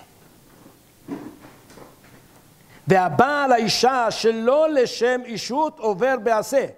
דרחמנה אמר כי ייקח איש אישה ובעלה והייתה לו לאישה כשירצה לבוא עליה יהיה באישות. ואז הוא אומר עובר בעשה מי שבא לאישה בלא קידושין עובר בעשה של אה, יהיה באישות ומזה לומדים שאם הוא בא עליה שלא בקידושין אז יש פה איסור. אין ראיה מהמגיד משנה שאין גם קיום כי יכול להיות שקיים יש גם איסור עשה וגם קיום. דהיינו, יש מצווה פוזיטיבית לחיות ולקדש אישה, ויש איסור שנובע מזה שלא לחיות אישה בלי קידושין. דהיינו, יש גם הפן הנגטיבי, גם הפן הפוזיטיבי. זה לא, זה שהמגיד משנה מדגיש את הפן הנגטיבי, כן? זה לא אומר שאין כאן מצווה חיובית. יכול להיות שיש גם הפן החיובי וגם הפן השלילי. זה בדעת המגיד משנה, אני לא יודע, לפחות הוא מדגיש את הפן של האיסור עשה, הוא מדגיש אותו בדבריו. טוב. עכשיו, שאלה נוספת היא, אחרי שאני מקבל את העובדה שלפי הראשונים האלה יש מצווה אה, בקידושין, ולא רק כאיסור עשה, אלא גם מצווה פוזיטיבית, השאלה אם זה מצווה חיובית או מצווה קיומית. וכאן יכול להיות שלגבי השאלה הזאת, אולי הדבר הזה תלוי בשאלה אה, האם יש, אה, אין דרך אחרת להגיע ל... לחיות חיי אישות או לפרוט ולרבות, אלא רק על ידי קידושי אישה. כי אם יש דרך אחרת, אז יכול להיות שהמצווה הזאת, אולי אם אתה הולך בדרך הזאת, אתה מקיים מצווה, אבל אין חובה, כי אני לא, אין חובה, מה שאני אומר כרגע הוא לא מחויב המציאות, אני רק אומר שיותר קל לראות את המצווה כמצווה חיובית, אם זו הדרך הבלעדית שקיימת לאדם להגיע לפרו ורבו, או להגיע לחיי אישות, אז ברור לי שהתורה אומרת לך, זאת הדרך היחידה, ובזה אתה, זאת מצווה שאתה חייב לעשות אותה. שונה הדבר אם אתה אה, חושב שיש דרך אחרת להגיע לחיי אישות, אם פילגש מותרת, כמו שהרבה ראשונים סוברים בניגוד לרמב"ם, או אם אה, אפשר אה, להגיע לפרו ורבו גם על ידי, בדרכים אחרות, שלא על ידי חיי אישות, סליחה, שלא על ידי קידושין, אז כמובן, יש מקום, אני לא אומר שחייבים להגיע למסקנה הזאת, אבל יש מקום לומר שהמצווה הזאת כבר לא מצווה חיובית, היא מצווה קיומית. דהיינו, אם תקדש, אם אתה רוצה לעשות בדרך של קידושין, אז אתה מקיים מצווה. אתה לא רוצה, אתה לא חייב, כי אתה יכול לקיים את אה, פרו ורבו גם בדרך אחרת. כן. דהיינו. אם אני מניח שקיימת, אם אני מניח שזו הדרך היחידה לעשות פרו אז בסדר, התורה, אז בסך הכל הכשר מצווה כלשהו רגע, רגע, רגע, לא, לא, לא. אני מבין מה שאתה אומר כרגע, אבל רק שנייה. לא, אני רוצה כבר לעצור אותך לפני שאנחנו הולכים לכיוון הזה. לכיוונים האלה עוד נגיע. חכה, נגיע לשם. האם אה, מדובר במצווה עצמאית או במצווה שמכשירה לקראת משהו אחר, בזה נדון. עוד נשאל את השאלות האלה, בוודאי אז הדברים שלך יהיו רלוונטיים. אני מדבר כרגע רק בהינתן העובדה שיש פה אה, קיום במצווה הזאת, כן? יש קיום במצוות קדושין. השאלה אם זו מצווה חיובית או מצווה קיומית, רק בנקודה הזאת עדיין, יכול להיות שתהיה חיובית, אבל רק כמכשירה למצווה אחרת, כן? זה יכול להיות. אני, לכן אני לא מדבר כרגע, אני מדבר כרגע, קודם כל, עד כמה זה מצווה שכל אדם חייב לעבור דרכה, כן? או שהוא לא חייב לעבור דרכה. אם הוא רוצה, הוא יעשה, אם הוא לא ירצה, הוא לא יעשה. בסדר? עכשיו, פה אני אומר שאם אין ברירה אחרת, אין לך נתיב אחר כדי לקיים פרו ורבו, אלא דרך זה, כן? אז זאת מצווה חיובית, כן? ואם יש לך דרך אחרת, כבר זה נשאר פתוח, אני לא מכריע כאן, לכאן או לכאן, מובן? זה מה שאני רוצה להדגיש כאן, את הנקודה הזאת רציתי להדגיש. עכשיו ככה, אה, כמובן, אותם ראשונים, יש ראשונים שסוברים שיש אפשרות להסתדר בלי לעבור דרך קידושין, אבל הגישה הקיצונית ביותר, שבה אני רוצה להתחיל, היא גישתו של הראש. כי מה שהראש מגיע למסקנה מן הדיון שלו, אה, הראש סבור שבגלל שאפשר לחיות חיי אישות בלי קידושין, פילגש מותרת. אפשר ולפרוט ולרבות בלי קידושין. אפשר שיהיו לך ילדים דרך פילגשות. אז אין בעיה. ממילא אומר הראש, אין בכלל מצוות קידושין. הוא חולק על עצם קיומה של המצווה, לא רק השאלה אם מצווה, מצווה חיובית או קיומית. הוא חולק על קיומה של המצווה מכל וכול, אין מצווה כזאת. הראיה שלו שהתורה בכלל לא דיברה בלשון מצוותית, התורה דיברה כי ייקח איש אישה. אחת הראיות שהוא מביא. מכוח זה טוען הראש שכל הברכה שאנחנו מברכים באירוסין היא באמת לא ברכת המצוות, היא ברכת השבח. והאמת היא שהניסוח שלה תומך במידה מסוימת בשיטת הראש, כי הניסוח של ברכת אירוסין שאנחנו ברכים הוא לא ניסוח קלאסי של ברכת המצוות. הניסוח הקלאסי לברכת המצוות מהו? אשר קידשנו מצוותיו וציוונו לקדש את האישה. לו היה מדובר בניסוח קלאסי של ברכת המצוות, זה היה צריך להיות הניסוח. עכשיו, פה זה לא ניסוח קלאסי, נכון? ולכן זה תומך בכיוון שמדובר פה בברכת השבח ולא בברכת המצוות, זאת אכן שיטת הראש. אה, לגבי השאלה הזאת, רק אה, הרמב"ם שחולק וסבור שמדובר פה בברכת המצוות, למה באמת אין כאן ברכת המצוות קלאסית רגילה? אז אין לי זמן עכשיו לטעון אה, טיעונים שלמים ומקיפים בעניין הזה, אני רק יכול להגיד ככה. אני אגיד את זה בתמצית, בעזרת השם אולי תהיה לנו הזדמנות אה, לקראת ראש השנה, כי זה קשור גם לאיזה הלכה בענייני ראש השנה, שאולי אה, אם תהיה לנו הזדמנות אני אעסוק בזה דרך עיסוק בסוגיות ראש השנה, אבל אני אומר ככה, יש בעולמנו סוגים שונים של מצוות. יש מצוות שכל משמעותם היא מעשה המצווה. למשל, לאכול מצה. המצווה לאכול מצה. אתה לוקח חתיכת מצה, אכלת, קיימת את המצווה. שם הברכה היא אשר קידשנו מצוותיו וציוונו לאכול מצה. בואו ניתן לכם מצווה אחרת, כן, אה, אה, אה, ניתן מצווה אחרת שתיתן לנו קצת יותר. יש מצוות קריאת שמע. נכון? אנחנו מקיימים אותה פעמיים ביום. בשוך בך ובקומך. אנחנו לא מברכים אשר קידשנו מצוותיו וציוונו לקרוא את שמע. נכון, אין לנו ברכה כזאת.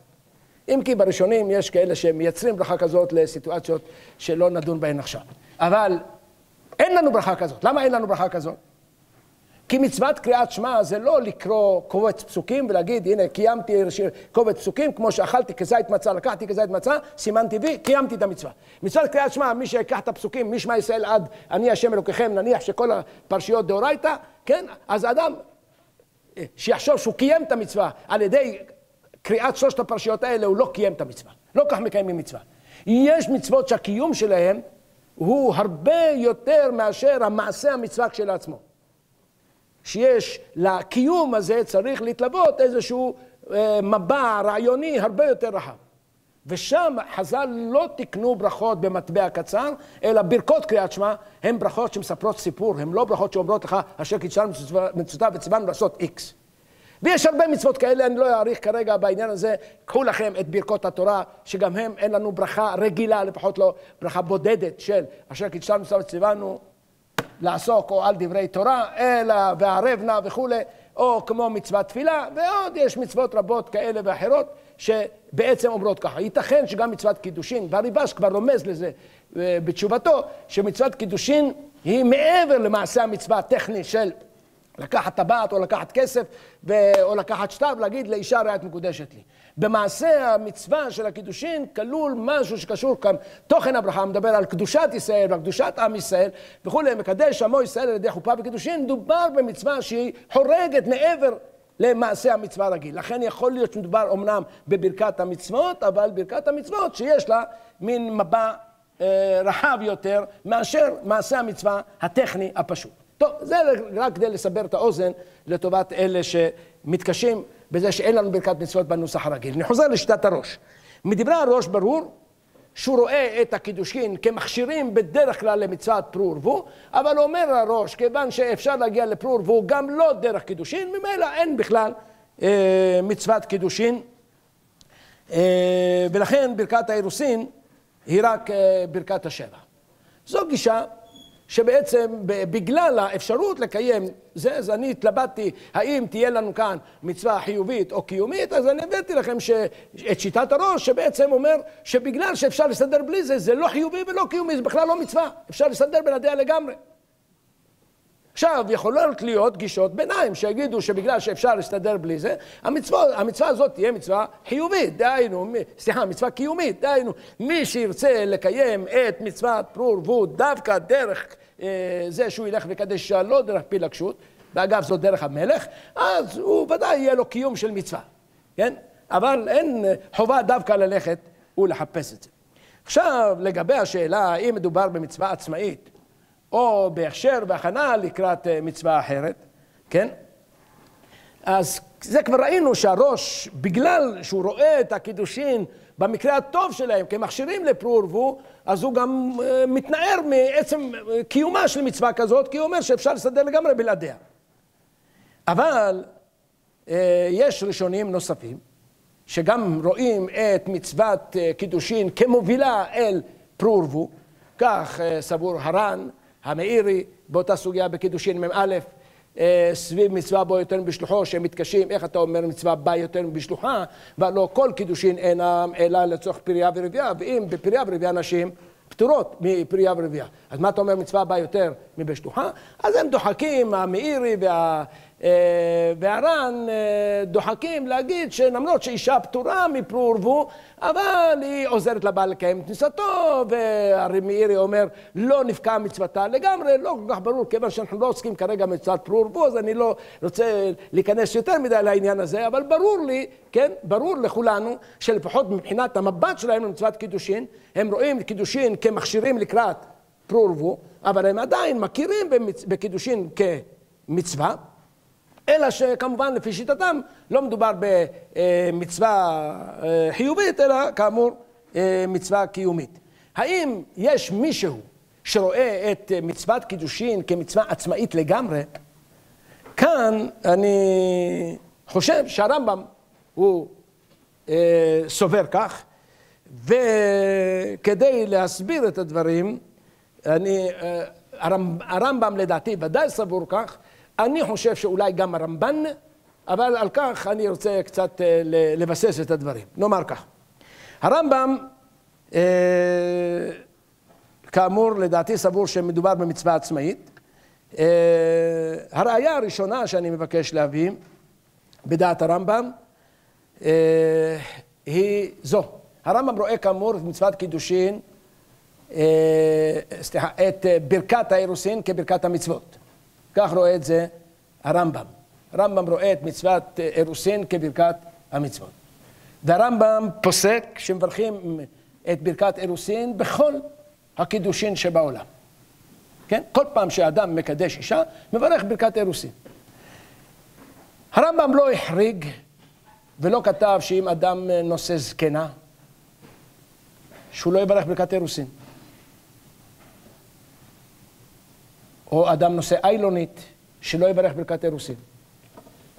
אם אדם נושא זקנה, היא לא בת בנים. אחרי בלותי הייתה לי עדנה, נכון? אז אישה זקנה היא לא בת בנים, היא לא יכולה להוליד, ללדת, כן? הוא לא יכול להוליד עימה, היא לא יכולה ללדת, כן? איילונית ודאי לא יכולה ללדת. ואז השאלה היא, האם יש לנו כאן, והרמב"ם, בפשטות מן הרמב"ם, בפרק כ"ג, בפרק ג', הלכה כ"ג, כותב בפר... לכאורה, הוא לא אומר בצורה מפורשת, אבל העובדה שהוא לא מחריג, הוא אומר כך: כל המקדש אישה, בין על ידי עצמו, בין על ידי שליח, צריך לברך קודם הקידושין, או הוא או שלוחו, כדי שמברכים על כל המצוות, ואחר כך מקדש, וכולי. ואם קידש ולא בירך, לא יברך אחר הקידושין, שזו ברכה לבטלה, מה שנעשה כבר נעשה, וכולי. אומר הרמב"ם בפירוש שהמצווה היא הקידושין, ויש לברך על הקידושין, ואי אפשר לברך אחרי הקידושין. והרמב"ם אומר, כל המקדש אישה. הוא לא אומר, דווקא אם אתה מקדש אישה כשיש לך מגמה להוליד ממנה, או לא. כל המקדש אישה. לכן נראה לי שוודאי הרמב"ם לא רואה את מצוות קידושין כמכינה לקראת משהו אחר, אלא כעומדת לעצמה. גם העובדה שהרמב"ם אומר שאחרי הקידושין אי אפשר לברך, דקה אחרי הקידושין אי אפשר לברך, כן? זה אומר שקידושין הם בכלל לא מכינים לשום דבר, גם לא, אפשר היה להגיד שאולי הרמב"ם לא סובר שקידושין מכינים לפרו ורבו, אבל אולי קידושין מתירים את הבעילה, כי אסור לבעול בלי אה, קידושין, בגלל לאו שלא תהיה קדשה, אז אולי אה, הקידושין הם מכינים לקראת הבעילה. אם זה היה כך, אולי כל זמן שהוא לא בעל, יכול להיות שעוד היה אפשר לברך, כן? אבל הרמב"ם לא אומר את זה. הרמב"ם אומר, מיד אחרי קידושין אין מה לברך. לכן לי שהרמב"ם רואה את מצוות קידושין כעומדת לעצמה. זה קודם כל טענה אחת. טענה שנייה שאני אבקש לטעון, כן?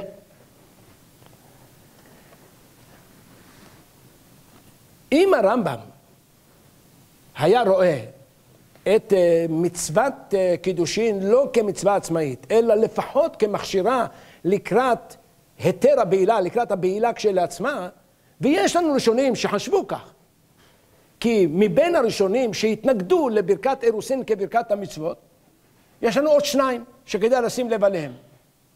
לא רק הראש שדיברנו עליו, כרגע נדבר על שניים נוספים. המורדכי, או הדברים שמובאים בהגאות אושרי, זו אותה שיטה, מיד נפרט אותה, והרמב"ן בחידושיו לכתובות שם. שניהם אומרים רעיון דומה, עם פערים ביניהם, מיד נראה, נעמוד גם על הפערים ביניהם, אבל שניהם אומרים רעיון דומה. שניהם אומרים שאי אפשר לברך ברכת המצוות על האירוסין, מפני שאין מברכים אלא על מצווה שעשייתה הוא גמר מצוותה. וגמר המצווה של קידושין, אה, אה, בזה שמקדש אישה לא גמרת שום מצווה. אתה מקסימום עשית חצי מצווה. אולי אפילו עשית אפס, כי כל הקידושין הם רק מכשירים לקראת הנישואין, כי מה ש... עיקר המצווה זה הנישואין ולא הקידושין. בקידושין אין כלום. לכאורה. וכיוון שכך, אומר הרמב"ן, אומר המורדכי, אומרים בהגות אושרי, כן? אי אפשר לברך ברכת המצוות בשעת האירוסין. אומר הרמב"ן, טוב, בוא נברך בשעת הנישואין. הנישואין לבד זה חצי מצווה, הקידושין לבד זה חצי מצווה. ואז אומר הרמב"ן, תאורטית הרמב"ן מוכן לקבל מצוות, אה, ברכת המצוות באירוסין, אם נצמיד אירוסין לנישואין, מה שעושים היום בימינו, יכול להיות שלפי הרמב"ן הוא היה מוכן לקבל שבימינו נברך ברכת המצוות בשעת אירוסין, כי היום אנחנו מצמידים את הנישואין לאירוסין. אבל אומר הרמב"ן, אומר הרמב"ן, לא עושים את זה בגלל ש, אה, שלא יצא מצב שבו יש קידושין שמברכים עליהם, קידושין שלא מברכים עליהם, לכן אין ברכת מצוות באירוסין. אבל מה שבעצם אומר הרמב"ן ואומר ההגאות אושרי, כן? שניהם אומרים שהקידושין כשלעצמם הם לא עומדים לעצמם, הם מקסימום חצי מצווה, כי החצי השני נמצא בשל, בשלב הנישואין. פה יש הבדל בין המורדכי והגאות אושרי לבין הרמב"ן. כי הרמב"ן אומר שלא מברכים על חצי מצווה. הגאות אושרי מוסיף עוד נקודה.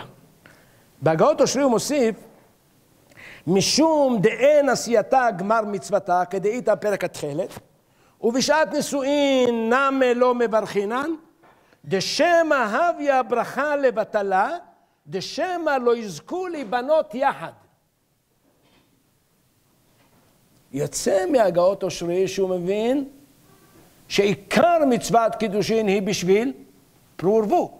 וברור שפרו ורבו זה רק מן הנישואין, כי בקידושין, בשלב הקידושין עדיין אסר לנו את הארוסות. התיר לנו את הנשואות, רק בנישואין מותרות הנשים. ממילא, אומר הגאות אושרי, בזמן הקידושין אי אפשר לברך, בזמן הנישואין עקרונית אפשר לברך, אבל גם אז לא נברך, אומר הגאות אושרי, למה? שמא לא יזכה לבנות ממנה. יש פה בעיה, אולי זה יהיה ברכה לבטלה. כך הוא אומר, אולי זה יהיה ברכה לבטלה. עכשיו,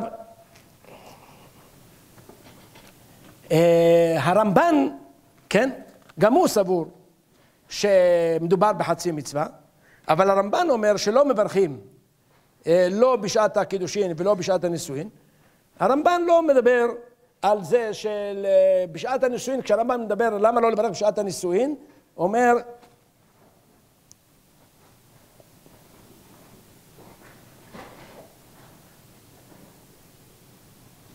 כיוון שחופה וקידושין אינן נעשים בבת אחת, וחצי המצווה נעשית בקידושין, הוא צריך לברך עליהם מקדש ישראל, שכל המצוות לברך עליהם עובר לעשייתם, ואילו הייתה חופה נעשית עכשיו, היו מברכים אשר קידשנו על הקידושין, כמו שמברכים על השחיטה, ועכשיו לא היו יכולים לברך, ועל החופה, שהרי אין החופה נעשית עכשיו, ולכן לא היו יכולים אשר קידשנו, ולכן אומר, אה, ממילא לא, לא מדובר בברכת המצוות, אלא בברכת השבע.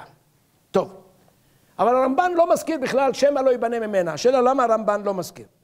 האם הרמב"ן באמת רואה גם הוא את מצוות קידושין כמובילה לפרו ורבו?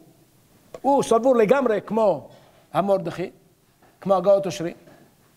למה הוא לא חושש שמא לא יזכה להיבנות ממנה? כי אולי נסנין בתרובה, רוב הנשים יולדות. כמו, אגב, אנחנו מברכים על השחיטה, והיו כאלה שטענו שאולי לא לברך על השחיטה, שמא תימצא בהמה טרפה. לא חוששים שמא תימצא בהמה טרפה. זה הלוך אל הבייס אנחנו נוהגים. אז אולי גם כאן, זה אותו דבר. ואז אין הבדל מהותי בין הרמב"ן לבין הגאות אושרי, ההבדל הוא נקודתי, האם לחשוש שמא לא יזכו להיבנות ממנה או לא. אבל מה שנראה לי יותר, ברמב"ן, שאני חושב שהוא סבור שבאמת מצוות קידושין ונישואין, זה ברור שהוא רואה קידושין ונישואין כמכלול אחד, וזה, כל אחד מהם הוא רק חצי מצווה, הוא לא מכשיר לפרו ורבו. אלא מצוות קידושין ונישואין עומדת לעצמה, היא מצווה חשובה כשלעצמה. לדעתו אי אפשר לברך ברכת המצוות בגלל שהמצווה הזאת מתפצלת בין שתי נקודות זמן. אילו, יכול, אילו היינו יכולים, ואילו, אה, אה, נכון שהיום בימינו איחדו את נקודות הזמן הזה, ויכול להיות שאם הרמב"ן היה חי בימינו, הוא היה מוכן אה, לקיים, לתת איזה מצוות, ברכת המצוות באירוסין ונישואין שיש בימינו. אבל מה לעשות, חז"ל הם אלה שתיקנו את האורחות, ובימי חז"ל היה פער של 12 חודש בדרך כלל בין קידושין לבין נישואין, ולכן שם לא נתקנה ברכת אה, מצוות באירוסין, וזה רק ברכת השבח. כך פחות או יותר הולך הרמב"ן. אבל השאלה הגדולה היא באמת איך להבין את שיטת הרמב"ם, שאומר שברכת האירוסין היא ברכת המצוות, והלא לכאורה באמת צודק הרמב"ן, זה רק חצי מצווה. מה העניין בקידושין כשלעצמה? ובנקודה הזאת הרי לא, הרמב"ן, הרמב"ם לא לבד. אמרתי לכם כבר שהרייבד עקרונית מסכים איתו. לדעתי גם התוספות פסחים דף ז' מסכימים איתו. כי התוספות אומרים שאומנם זו מצווה ברכת המצוות, רק אה, כשמי שמברך את ברכת המצוות זה לא העושה המצווה בעצמו, אלא מישהו אחר, אפשר לברך אותה גם אחרי המצווה. זאת אומרת, גם הוא מסכים שעקרונית מדובר בברכת המצוות. גם רבנו יחיאל מפריז, שהרצפה מביא אותו, שמיד אולי ניכנס קצת יותר לדברים שהוא אומר, גם הוא הרי אומר בפירוש שמדובר בברכת המצוות.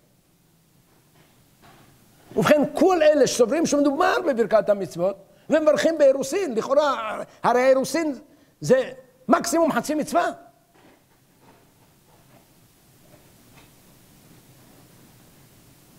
אני חושב שיש מקום לדבר כאן על שתי, שני כיוונים כדי להסביר למה בכל זאת מברכים על אירוסין, גם אם זה לכאורה רק חצי מצווה. הכיוון הפשוט הוא שאומנם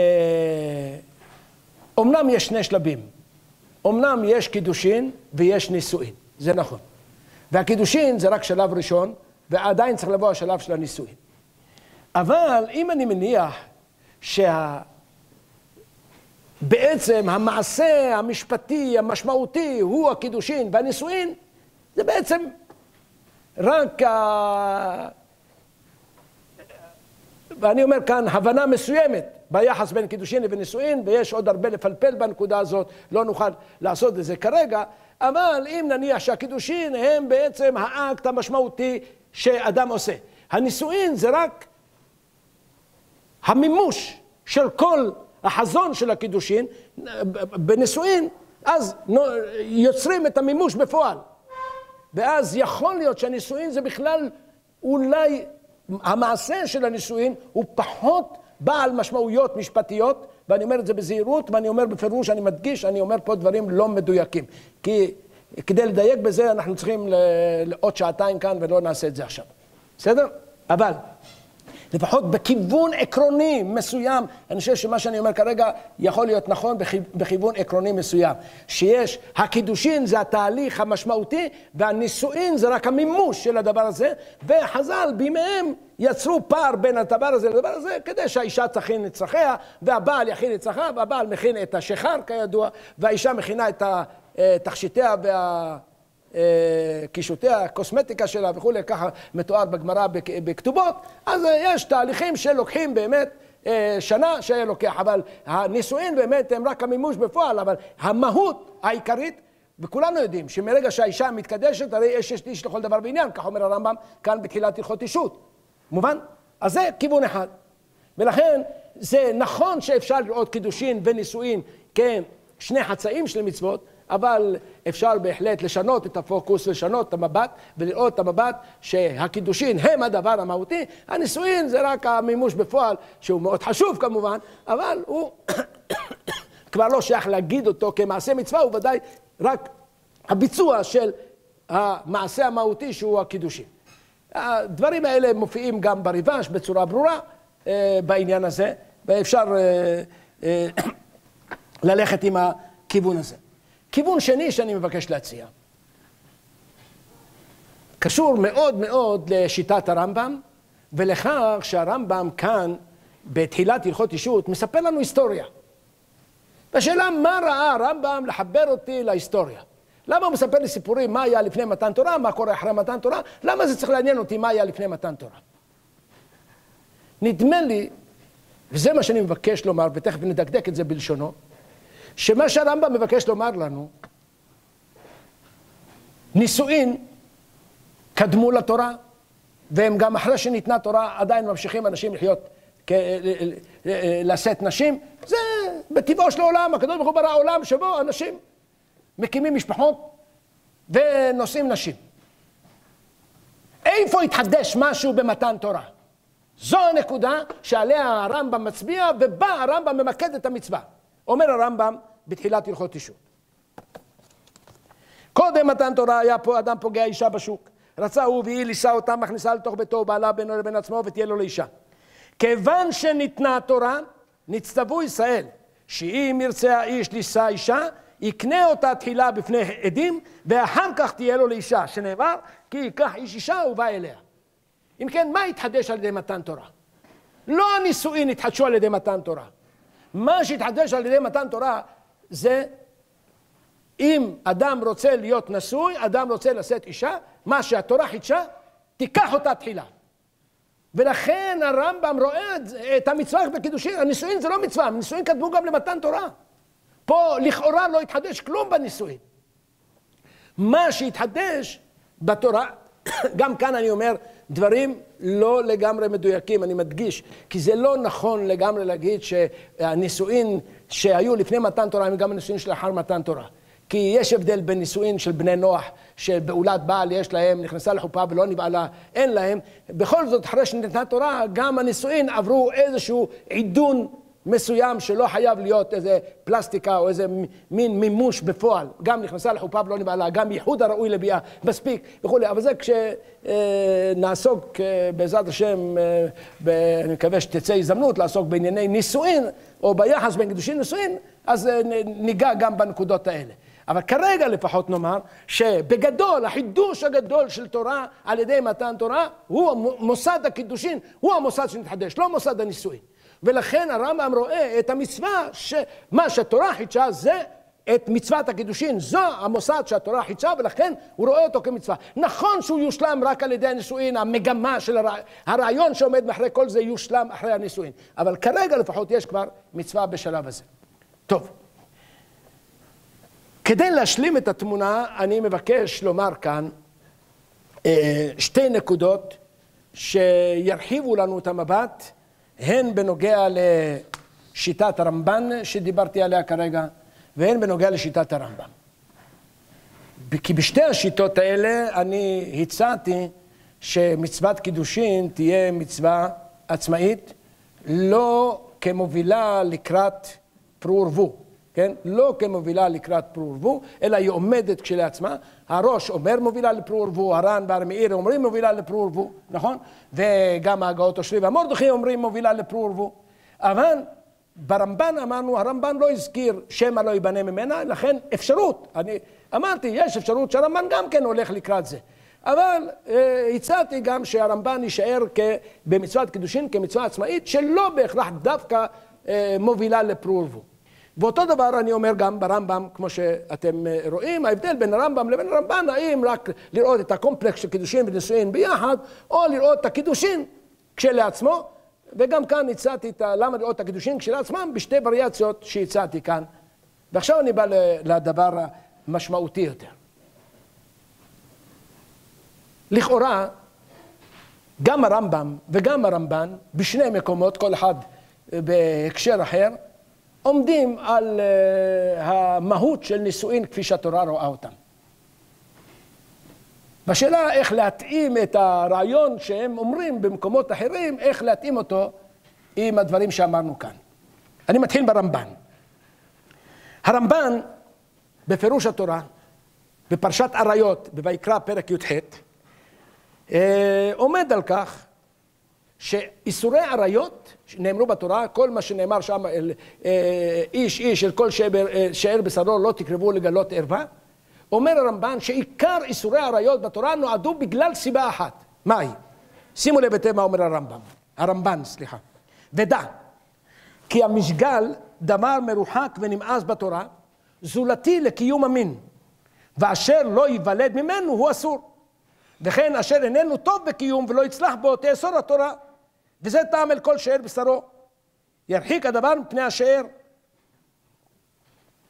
כלומר, אינם נישואין ואישות כי לא יצליח, אבל לזימה מחשבת תאווה בלבד, וכולי.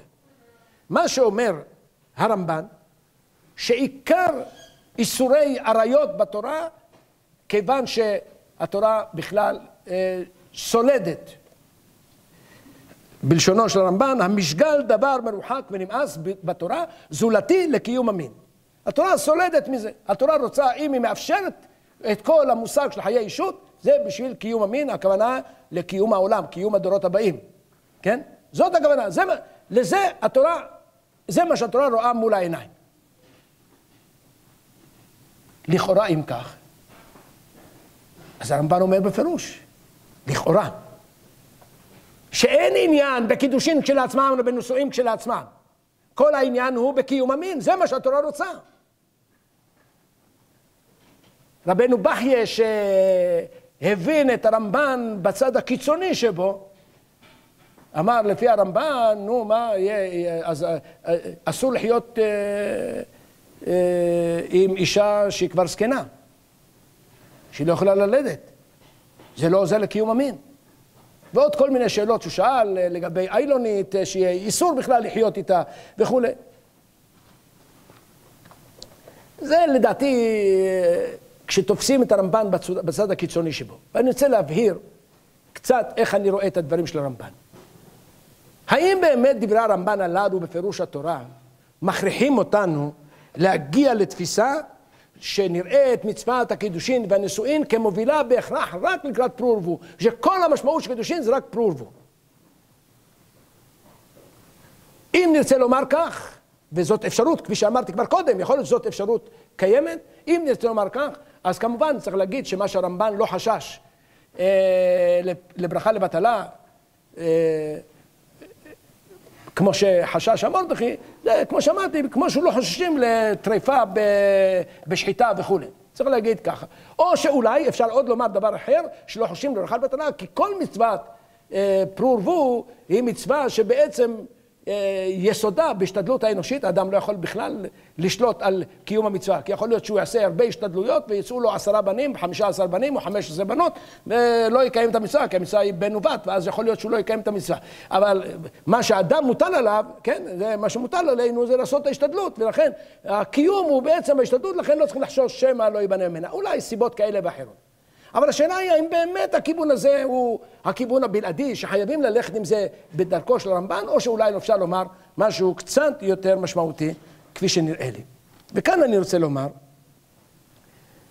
ברור לי שמגמת הנישואין, כפי שהתורה רואה אותם, לפי תפיסת הרמב"ן, היא העמדת הדור הבא. זה ברור. אומרת, אדם שירצה לשאת אישה רק בשביל הכיף, בשביל שיהיה לו נחמד וטוב וכולי, כל מיני דברים שאתה שומע לפעמים היום ברחוב, כן? אלה דברים שלדעת הרמב"ן פסולים בהגדרה. אבל הרמב"ן לא אמר מעולם שאין שום ערך בנישואין מלבד העמדת הדורות הבאים. זה הרמב"ן לא כתב. יכול להיות שגם הרמב"ן מודה שיש ערך בנישואין מצד לא טוב היות האדם לבדו. וכפי שהגמרא ביבמות גם אומרת, שגם אם אדם כבר יש לו בנים, עדיין אה, יישא אישה, כפי ש... איפה הגמרא ביבמות?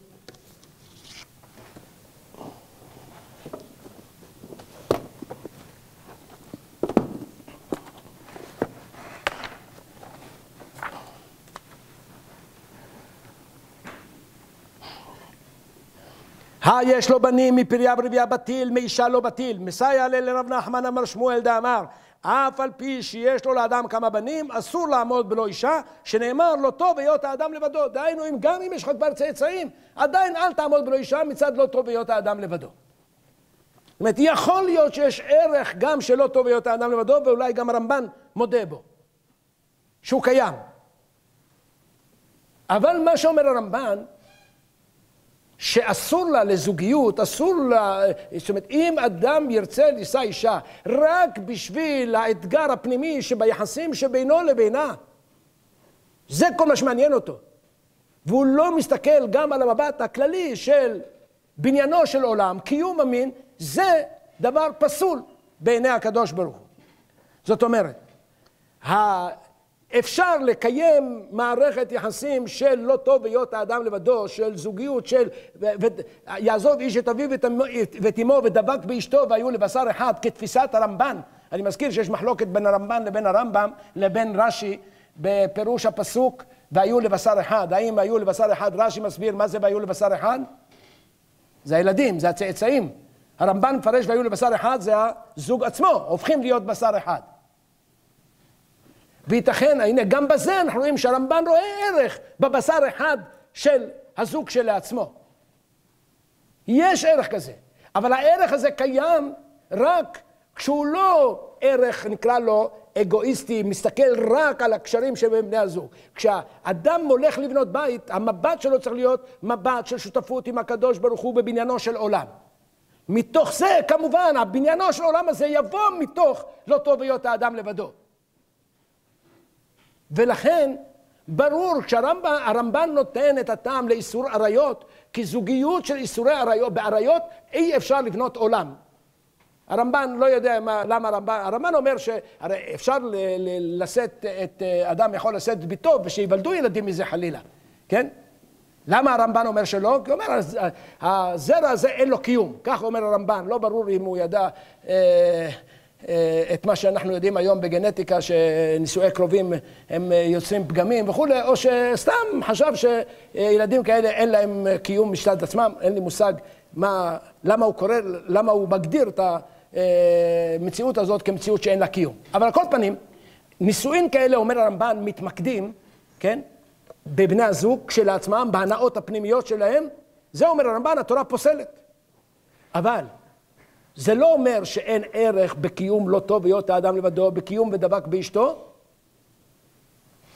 גם אה, בצד הזוגיות, אבל הזוגיות הזאת צריכה להיות מתוך מבט של לקחת אחריות על בניינו של עולם, מתוך לקיחת אחריות לבניינו של עולם, ודאי אה, שבתוך לקיחת האחריות הזאת יכולה לבוא גם על רקע של קיום מערכת אה, זוגית שמקיימת את הקשר הטוב וה... אה, ולא רק הקשר התכליתי של אנחנו הולכים כרגע להוליד ילדים יחדיו, אלא אנחנו כרגע הולכים לחיות יחדיו מתוך ראייה, ש... ראייה של שותפות בבניינו של עולם. זה בנוגע לשיטת הרמב"ן. הרמב"ם אה, במורה הנבוכים בחלק ג', פרק מ"ט, הוא עושה גם כן הרבה בשאלה הזאת של איסור עריות ואיסור הקדשה. הוא אומר שם בגדול שני דברים, שני טעמים לאיסורי עריות ואיסורי הקדשה. אחד, גם הוא מדבר על אה, הוא אומר באריות, בגלל שהן זמינות לאדם, הן חיות, אה, אז ודאי בימיהם חיו בחמולות, חמולות משפחתיות, ואז בגלל הזמינות שלהם אה, יכול אדם לשקוע בהם ולשקוע בתאוותם. זו בעיה אחת. גם בקדשה הוא אומר, ברור שיש בזה איזשהו יצר, ברגע שאדם אה, מוצא לו כל מיני נשים מזדמנות, אז יש בו יצר התאווה גדול יותר אצל נשים כאלה. כך מתאר הרמב"ם, הרמב"ם, והרמב"ם אומר שהתורה מתנגדת לזה. אבל הרמב"ם לא משתמש, לא מסתפק בנקודה הזאת, הוא מדגיש על, בדבריו הוא אומר, ולמנוע אלו הרעות העצומות, זה מה שאמרתי קודם, שקיעה בתאוות, ולהביא התועלת הכוללת והיא ידיעת היחסים, נאסרה הקדשה והקדש. מה הוא אומר כאן הרמב"ם? הרמב"ם אומר כאן, להביא התועלת הכוללת והיא ידיעת היחסים. מה שהרמב"ם מתאר שם, שהאדם הוא יצור חברתי. וכאדם, כשהוא יוצא חברתי, אדם זקוק לחיות בתוך חברה, כי החברה תמיד תתמוך בו בשעותיו הטובות בזה שתפרגן לו, בשעותיו הקשות בזה שתתמוך בו ותהיה שם לצידו בשעות הקשות, כך אומר הרמב"ם, אני אקרא כמה משפטים. מן הידוע כי צריך אדם לאוהבים כל, ימ... לאוהבים כל ימיו, כבר באר זה אריסטו במאמר התשיעי, אם בעת בריאותו והצלחתו יענה בחברתם, ובעת צרתו יצטרך עליהם, וזקנותו וחלושת גופו יעזר בהם, וזאת האהבה הנמצאת בבנים יותר ויותר גדולה וכן בקרובים, ולא תשלם אהבה ואחווה ועזר בקרובים, רק ביחסים. הוא אומר בפירוש, רק כשיש מערכת יחסים מסודרת של משפחה וכולי, אז הקשרים האלה סתם אדם יש לו חבר, אז החבר יכול לעמוד לך בעת צרה ויכול גם לזנוח אותך בעת צרה. אה, משפחה, אה, לא מחליפים, משפחה היא משפחה שמחויבת להיות איתך בכל מקום ובכל מצב. אז גם כאן לכאורה, גם לפי הרמב"ם אנחנו רואים שבעצם עיקר הנישואין, ולכן כל האיסורים של קדש וקדשה ואיסורי עריות, כל אלה שלא יוצרים את המסגרת המשפחתית הזאת, את המחויבות הזאת של קיום המערכת, היחסים של משפחה על כל צאצאיה וכולי, כל דבר כזה הוא בעצם לא מתאים למגמת התורה. אבל גם כאן אני מדגיש, גם כאן אני מדגיש, זה לא אומר שכל המגמה היא רק פרו ורבו. ברור שבלי פרו ורבו אין משמעות לנישואין, בלי זה שתהיה מחויבות למשפחה כשהולכים להקים משפחה, בלי מחויבות כזאת להקים ולבנות את הדור החדש ולקיים את העולם, כולם, גם הרמב"ן, גם הרמב"ם, שוללים את המבט, את המבט הזה. אבל אחרי שיש מבט כזה, מתוך האחריות הזאת של בנות עולם, אז קיים גם, הרמב"ם, הרמב"ם מדגיש, כן? קיים גם מצוות קידושין כמצווה עצמאית. יש משמעות לזה. ברמב"ם הדבר יותר חריף, ואני רוצה רק להדגיש פה עוד נקודה אחת שהרמב"ם מדגיש ב, אה, בהקדמה להלכות אישות, במניין המצוות בהלכות אישות, הרמב"ם אומר יש ארבע מצוות, שתיים כבר הזכרנו, אה, לבעול אישה בכתובה בקידושין, שלא לבעול בלי כתובה בקידושין, ולפרוט, והמצווה השלישית, לפרוט ולרבות המנה. כך אומר הרמב"ם. שימו לב היטב, הרמב"ם לא אומר שיש מצווה לפרוט ולרבות. הרמב"ם אומר שיש מצווה לפרוט ולרבות המנה. דהיינו, הרמב"ם מאחד כאן את שני המבטים האלה. מה שהרמב"ם כאן מאחד את שני המבטים, דהיינו, שלא, יש מצווה לבעול אישה בכתובה וקידושין, דהיינו יש מצווה להיות נשוי, אבל יש עוד מצווה זה לפרוט ולרבות, ואפשר להגיד שזה שתי מצוות נפרדות שאין ביניהן קשר. אבל הרמב"ם אומר שהמצווה היא לא רק לפרוט ולרבות, אלא לפרוט ולרבות המנה מהאישה הזאת. דהיינו לחבר את שני הרעיונות האלה. מה שהתורה, ייתכן מאוד, אם כי הנציב בעמק שאלה אה, אומר שנראה לו פשוט שהרמב"ם יסבור שיש קיום פרו ורבו גם אם אדם יפרה וירבה לא על ידי נישואין. אני לא בטוח ברמב"ם, בנקודה הזאת, אני לא בטוח, כי הרמב"ם אומר לפרוט ולרבות ממנה, ייתכן שלדעת הרמב"ם אפשר לקיים פרו ורבו, לא, אם אדם יקיים פרו ורבו על ידי, אה, לא יודע מה, היום, אה, בוא נק... בלי לעבור איסורים, כי לרמב"ם אה, פילגש אסורה. נניח שהיום אדם יעשה יפרה וירבה על ידי אה, הפריות מלאכותיות. לדעתי הרמב"ם סבור שלא יקיים, אין בזה קיום פרו ורבו. קיום פרו ורבו זה לא להעמיד צאצאים, זה לא מספיק. הרמב"ם מדגיש בפירוש שקיום פרו ורבו זה להעמיד צאצאים בדרך של משפחה. ולכן הרמב"ם מדגיש לפרוט ולרבות המנה מן האישה שאותה נשאת. והנציב מביא כמה ראיות לכיוון הזה, רק אני מתפלא על הנציב קצת, כי הוא, אחרי שהוא מביא הרבה ראיות לזה שהרמב"ם קושר בין חובתו של האדם לפרו ורבו לבין חובתו של האדם כלפי אשתו, כן? אומר הרמב"ם, אה, אה, אה, כמה, בכמה מקומות, למשל אומר הרמב"ם, שכל זמן שאדם לא קיים פריאה, חייב לבוא על אשתו בכל עונה ועונה, גם אם האשתה פטרה אותו מעונתה. מה פירוש? מה הקשר בין, בין עונתה של האישה שהיא מחויבותו כלפי אשתו לבין מחויבותו כלפי ברור ורבו? זה שני דברים שונים.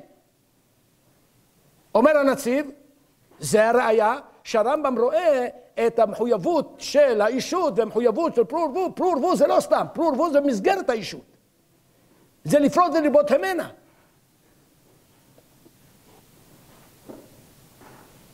אז זה כיוון נוסף שבולט מדברי הרמב"ם כאן. לא נוכל עכשיו, אה, בגלל שהזמן כבר אה, עבר, אני רוצה רק עוד להוסיף אה, ברשותכם עוד נקודה אחת לסיכום הדברים.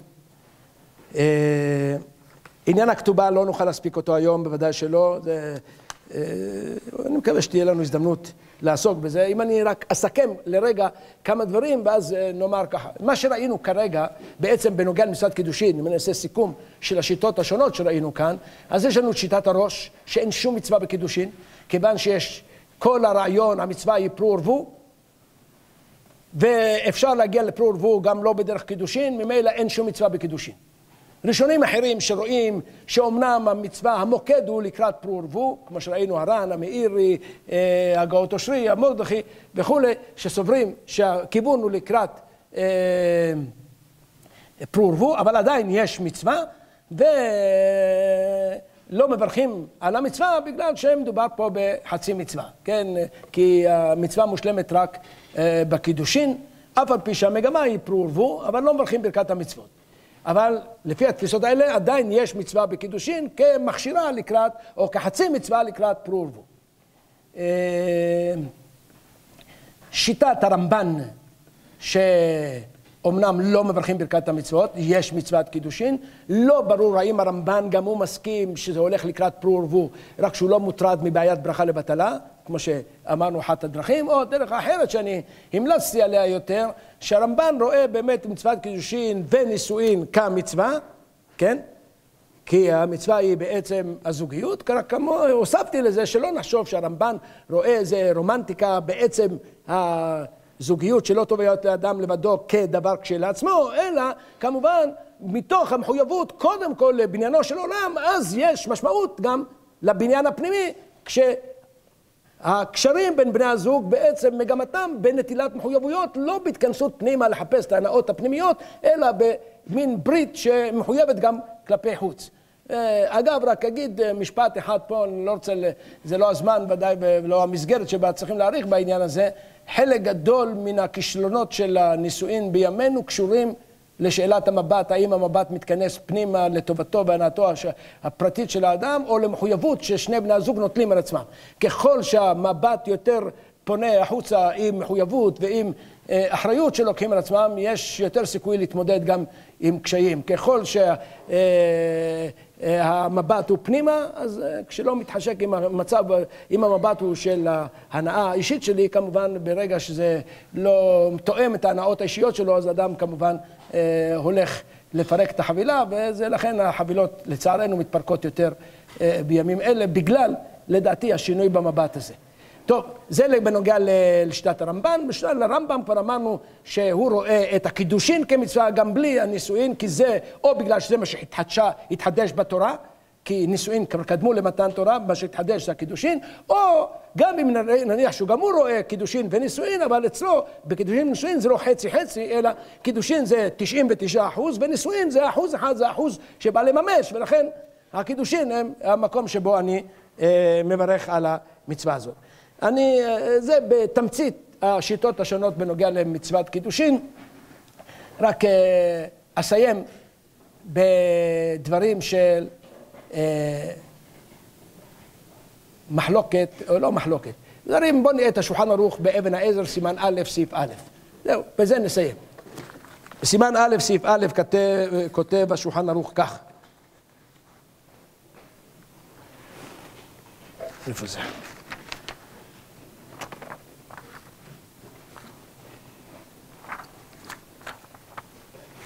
איפה זה?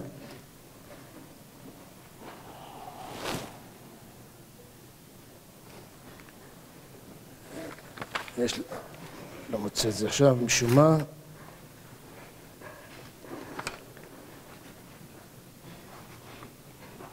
כן, בשולחן ערוך כותב, ואני לא, לא, לא מוצא את זה פה לפניי, אני אנסה בעל פה, הרם, השולחן ערוך כותב שחייב כל אדם, יש לכם פה שולחן ערוך א', זה מופיע בדפי המקורות או לא? מופיע, זה, אם זה מופיע אז צריך להיות, בסדר, אוקיי.